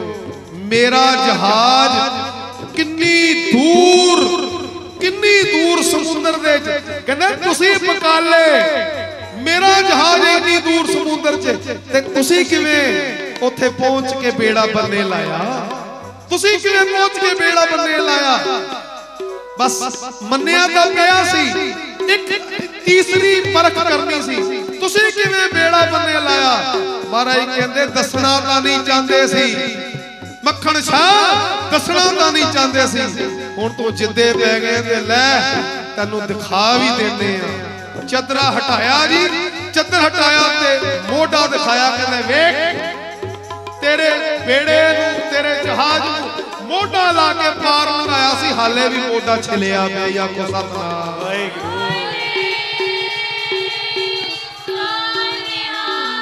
ਸਤਿ ਸ੍ਰੀ ਅਕਾਲ। ਜਾਂ ਮੋਢਾ ਦੇਖਿਆ ਛਿਲਿਆ ਪਿਆ ਚਰਨਾਂ ਤੇ ਡਿੱਗਾ ਪੱਬਾਂ ਨਿਕਲ ਗਈਆਂ। ਰੌਣ ਨਿਕਲ ਗਿਆ ਸਾਸਰ ਚਰਨ ਕੁੱਟ ਕੇ ਪਕੜ ਲਏ ਤੇ ਧੋ ਤੇ ਹਜੂਮਾਂ ਦੇ ਨਾਲ। ਗਰੀਬ ਨਿਵਾਜ ਤੁਸੀਂ ਹੋਈ ਹੋ ਗੁਰੂ ਨਾਨਕ। ਤੁਸੀਂ ਹੋਈ ਹੋ ਮੇਰੇ ਗੁਰੂ ਨਾਨਕ। ਮੇਰੇ ਨੌਵੇਂ ਗੁਰੂ। ਇੰਨੀ ਖੁਸ਼ੀ ਉਹ 500 ਮੋਹਰਾਂ ਕੱਢੀਆਂ ਚਰਨਾਂ ਤੇ ਰੱਖਿਆ ਦਸਵੰਦ ਕੱਢਿਆ ਚਰਨਾਂ ਤੇ, ਗਰੀਬ ਨਿਵਾਜ ਕਹਿੰਦੇ ਮੱਖਣ ਸ਼ਾਹ ਸਾਨੂੰ ਮੋਹਰਾਂ ਦਾ ਲਾਲਚ ਨਹੀਂ। ਪਰ ਅਮਾਨਤ ਗੁਰੂ ਦੀ ਸਿੱਖ ਕੋਲ ਰਹਿ ਜਾਵੇ, ਇਹ ਗੱਲ ਵੀ ਚੰਗੀ ਨਹੀਂ। ਉਹ ਗਰੀਬ ਨਿਵਾਜ ਮੈਨੂੰ ਯਕੀਨ ਹੋ ਗਿਆ, ਹੁਣ ਬਾਹਰ ਨਿਕਲਣ ਲੱਗਾ। ਕਹਿੰਦੇ ਕਿੱਥੇ ਚਲੇ ਆਏ ਕਹਿੰਦੇ ਗੁਰੂ ਪ੍ਰਗਟ ਕਰਨ ਚਲਿਆ ਕੋ ਸਤਨਾਮ। ਗੁਰੂ ਪ੍ਰਗਟ ਕਰ ਹੁਣ ਮਹਾਰਾਜ, ਬੇਨਤੀ ਹੈ ਬਾਰ ਬਹੁਤ ਆਤੰਕ ਮਚਿਆ ਹੋਇਆ ਪਟਕ ਰਹੀ ਹੈ ਦੁਨੀਆ ਬਿਨਾ ਗੁਰੂ ਤੋਂ, ਸੱਚੇ ਗੁਰੂ ਤੋਂ। ਝੂਠੇ ਗੁਰੂਆਂ ਨੇ ਇਹ ਜਿਹੜੇ ਕੱਚ ਕੱਚ ਜਿਹੜੇ, ਇਹਨਾਂ ਨੇ ਆਤੰਕ ਮਚਾਇਆ ਹੋਇਆ ਝੂਠੇ ਗੁਰੂ ਆਪ ਗੁਰੂ ਬਣ ਬੈਠੇ ਨੇ, ਸੱਚੇ ਪਾਤਸ਼ਾਹ ਸਿੱਖ ਭਟਕਦੇ ਪਏ ਨੇ। ਸਿੱਖ ਦੁਬਦਾ ਵਿੱਚ ਨੇ। ਗਰੀਬ ਨਿਵਾਜ ਹੁਣ ਪ੍ਰਗਟ ਕਰਨ ਦਾ ਦਿਹਾੜਾ ਆ ਚੁੱਕਾ ਹੈ। ਇਹ ਗੁਰੂ ਨਾਨਕ ਦੀ ਵਿਉਂਤ ਸੀ ਜੀ ਆਖੋ ਸਤਨਾਮ। ਇਹ ਗੁਰੂ ਨਾਨਕ ਦੀ ਮੋਜ ਚੜ ਗਏ ਉੱਪਰ। ਕਈ ਇਤਿਹਾਸਕਾਰ ਲਿਖਦੇ ਨੇ ਕਿ ਮਹਾਰਾਜ ਨੇ ਕਿਹਾ ਸੀ, ਪ੍ਰਗਟ ਨਾ ਕਰੀ ਨਹੀਂ ਤਾਂ ਮੂੰਹ ਕਾਲਾ ਕਰਾਂਗੇ। ਆਖੋ ਸਤਨਾਮ। ਕਈ ਇਤਿਹਾਸਕਾਰ ਲਿਖਦੇ ਨੇ, ਮੱਖਣ ਸ਼ਾਹ ਨੇ ਆਪ ਦਾ ਹੀ ਮੂੰਹ ਕਾਲਾ ਕਰ ਲਿਆ। ਆਪ ਦਾ ਹੀ ਮੂੰਹ ਕਾਲਾ ਕਰ ਲਿਆ ਕਹਿੰਦੇ ਮਹਾਰਾਜ, ਮੈਂ ਆਪੇ ਹੀ ਕਰ ਲੈਣਾ ਪਰ ਪ੍ਰਗਟ ਕਰਨਾ ਤਾਂ ਜ਼ਰੂਰੀ ਹੈ ਆਖੋ ਸਤਨਾਮ। ਚੜ ਗਏ ਉੱਪਰ, ਚੜ ਗਏ ਉੱਪਰ, ਤੇ ਉੱਚੀ ਉੱਚੀ ਆਵਾਜ਼ ਮਾਰਨ ਲੱਗੇ ਗੁਰਲਾਦੋ ਰੇ ਗੁਰਲਾਦੋ ਰੇ ਗੁਰਲਾਦੋ ਰੇ ਉਹ ਦੁਨੀਆ ਦੇ ਲੋਕੋ ਸੁਣੋ, ਗੁਰੂ ਲੱਭ ਪਿਆ ਜੇ ਆਖੋ ਸਤਨਾਮ।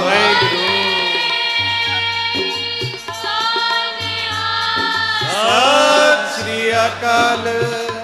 ਗੁਰਲਾ ਦੋਰੇ ਗੁਰਲਾ ਦੋਰੇ ਗੁਰਲਾ ਦੋਰੇ ਗੁਰਲਾ ਦੋਰੇ ਓ ਗੁਰਲਾ ਦੋਰੇ ਗੁਰਲਾ ਦੋਰੇ ਗੁਰਲਾ ਦੋਰੇ ਗੁਰਲਾ ਦੋਰੇ ਗੁਰਲਾ ਦੋਰੇ ਗੁਰਲਾ ਦੋਰੇ ਗੁਰਲਾ ਦੋਰੇ ਗੁਰਲਾ ਦੋਰੇ ਗੁਰਲਾ ਦੋਰੇ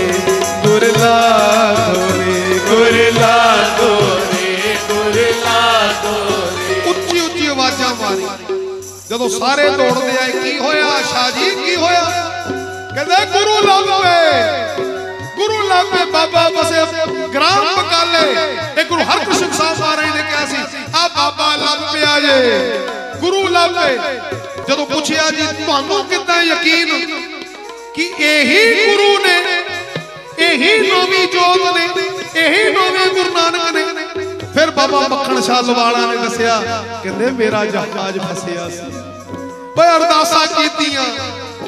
ਅਰਦਾਸਾਂ ਕੀਤੀਆਂ ਗੁਰੂ ਨਾਨਕ ਸਾਹਿਬ ਦੇ ਚਰਨਾਂ 'ਚ। ਤੇ ਮੇਰੇ ਗੁਰੂ ਨਾਨਕ ਨੇ ਆ ਨੌਵੇਂ ਗੁਰੂ ਨਾਨਕ ਜਿਹੜੇ ਇੱਥੇ ਭੋਰੇ 'ਚ ਬੈਠੇ, ਇਹਨਾਂ ਨੇ ਮੋਢਾ ਲਾ ਕੇ ਮੇਰਾ ਜਹਾਜ਼ ਬੰਨੇ ਲਾਇਆ ਤੇ 500 ਮੋਹਰਾਂ ਮੈਂ ਸੁਖੀਆਂ। ਓ ਸਾਰੇ ਗੁਰੂਆਂ ਦੇ ਅੱਗੇ ਮੈਂ ਆ ਜਿੰਨੇ ਪਖੰਡੀ ਬੈਠੇ ਨੇ, ਸਾਰਿਆਂ ਦੇ ਅੱਗੇ ਪੰਜ ਪੰਜ ਦੋ ਦੋ ਮੋਹਰਾਂ ਰੱਖੀਆਂ। ਕੋਈ ਨਾ ਆਪਣੀਆਂ ਮੋਹਰਾਂ ਮੰਗੀਆਂ ਕਿਸੇ ਨੇ ਆਪਣੀ ਇਮਾਨਤ ਨਹੀਂ ਮੰਗੀ। ਓ ਜਾਂ ਇਹਨਾਂ ਦੇ ਅੱਗੇ ਪੰਜ ਮੋਹਰਾਂ ਰੱਖੀਆਂ ਤੇ ਆਪ ਅੱਗੋਂ ਦੀ ਹੋ ਕੇ ਕਹਿਣ ਲੱਗੇ ਸਿੱਖ ਗੁਰੂ ਦੀ ਅਮਾਨਤ ਰੱਖੇ ਇਹ ਸਿੱਖ ਦੇ ਭਾਗ ਹੋਇਆ ਕੋ ਸਤਨਾਮ। ਕਹਿੰਦੇ ਇਹ ਕਿਹਨੂੰ ਪਤਾ?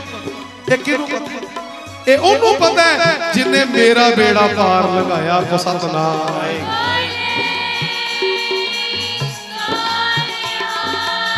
ਆ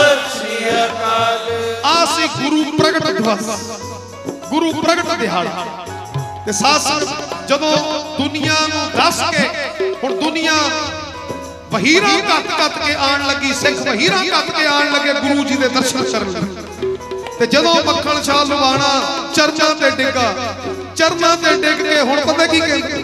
ਉਹ ਗਰੀਬ ਨਿਵਾਜ, ਜਿਵੇਂ ਮੇਰਾ ਉਹ ਬੇੜਾ ਮਾਂ ਦੇ ਨਾਲ ਭਰਿਆ ਹੋਇਆ ਬੇੜਾ ਪਾਰ ਲਗਾਇਆ ਜੇ ਆ ਜੀਵਨ ਦਾ ਬੇੜਾ ਵੀ ਪਾਰ ਲਗਾ ਦਿਓ ਕੋ ਸਤਨਾਮ।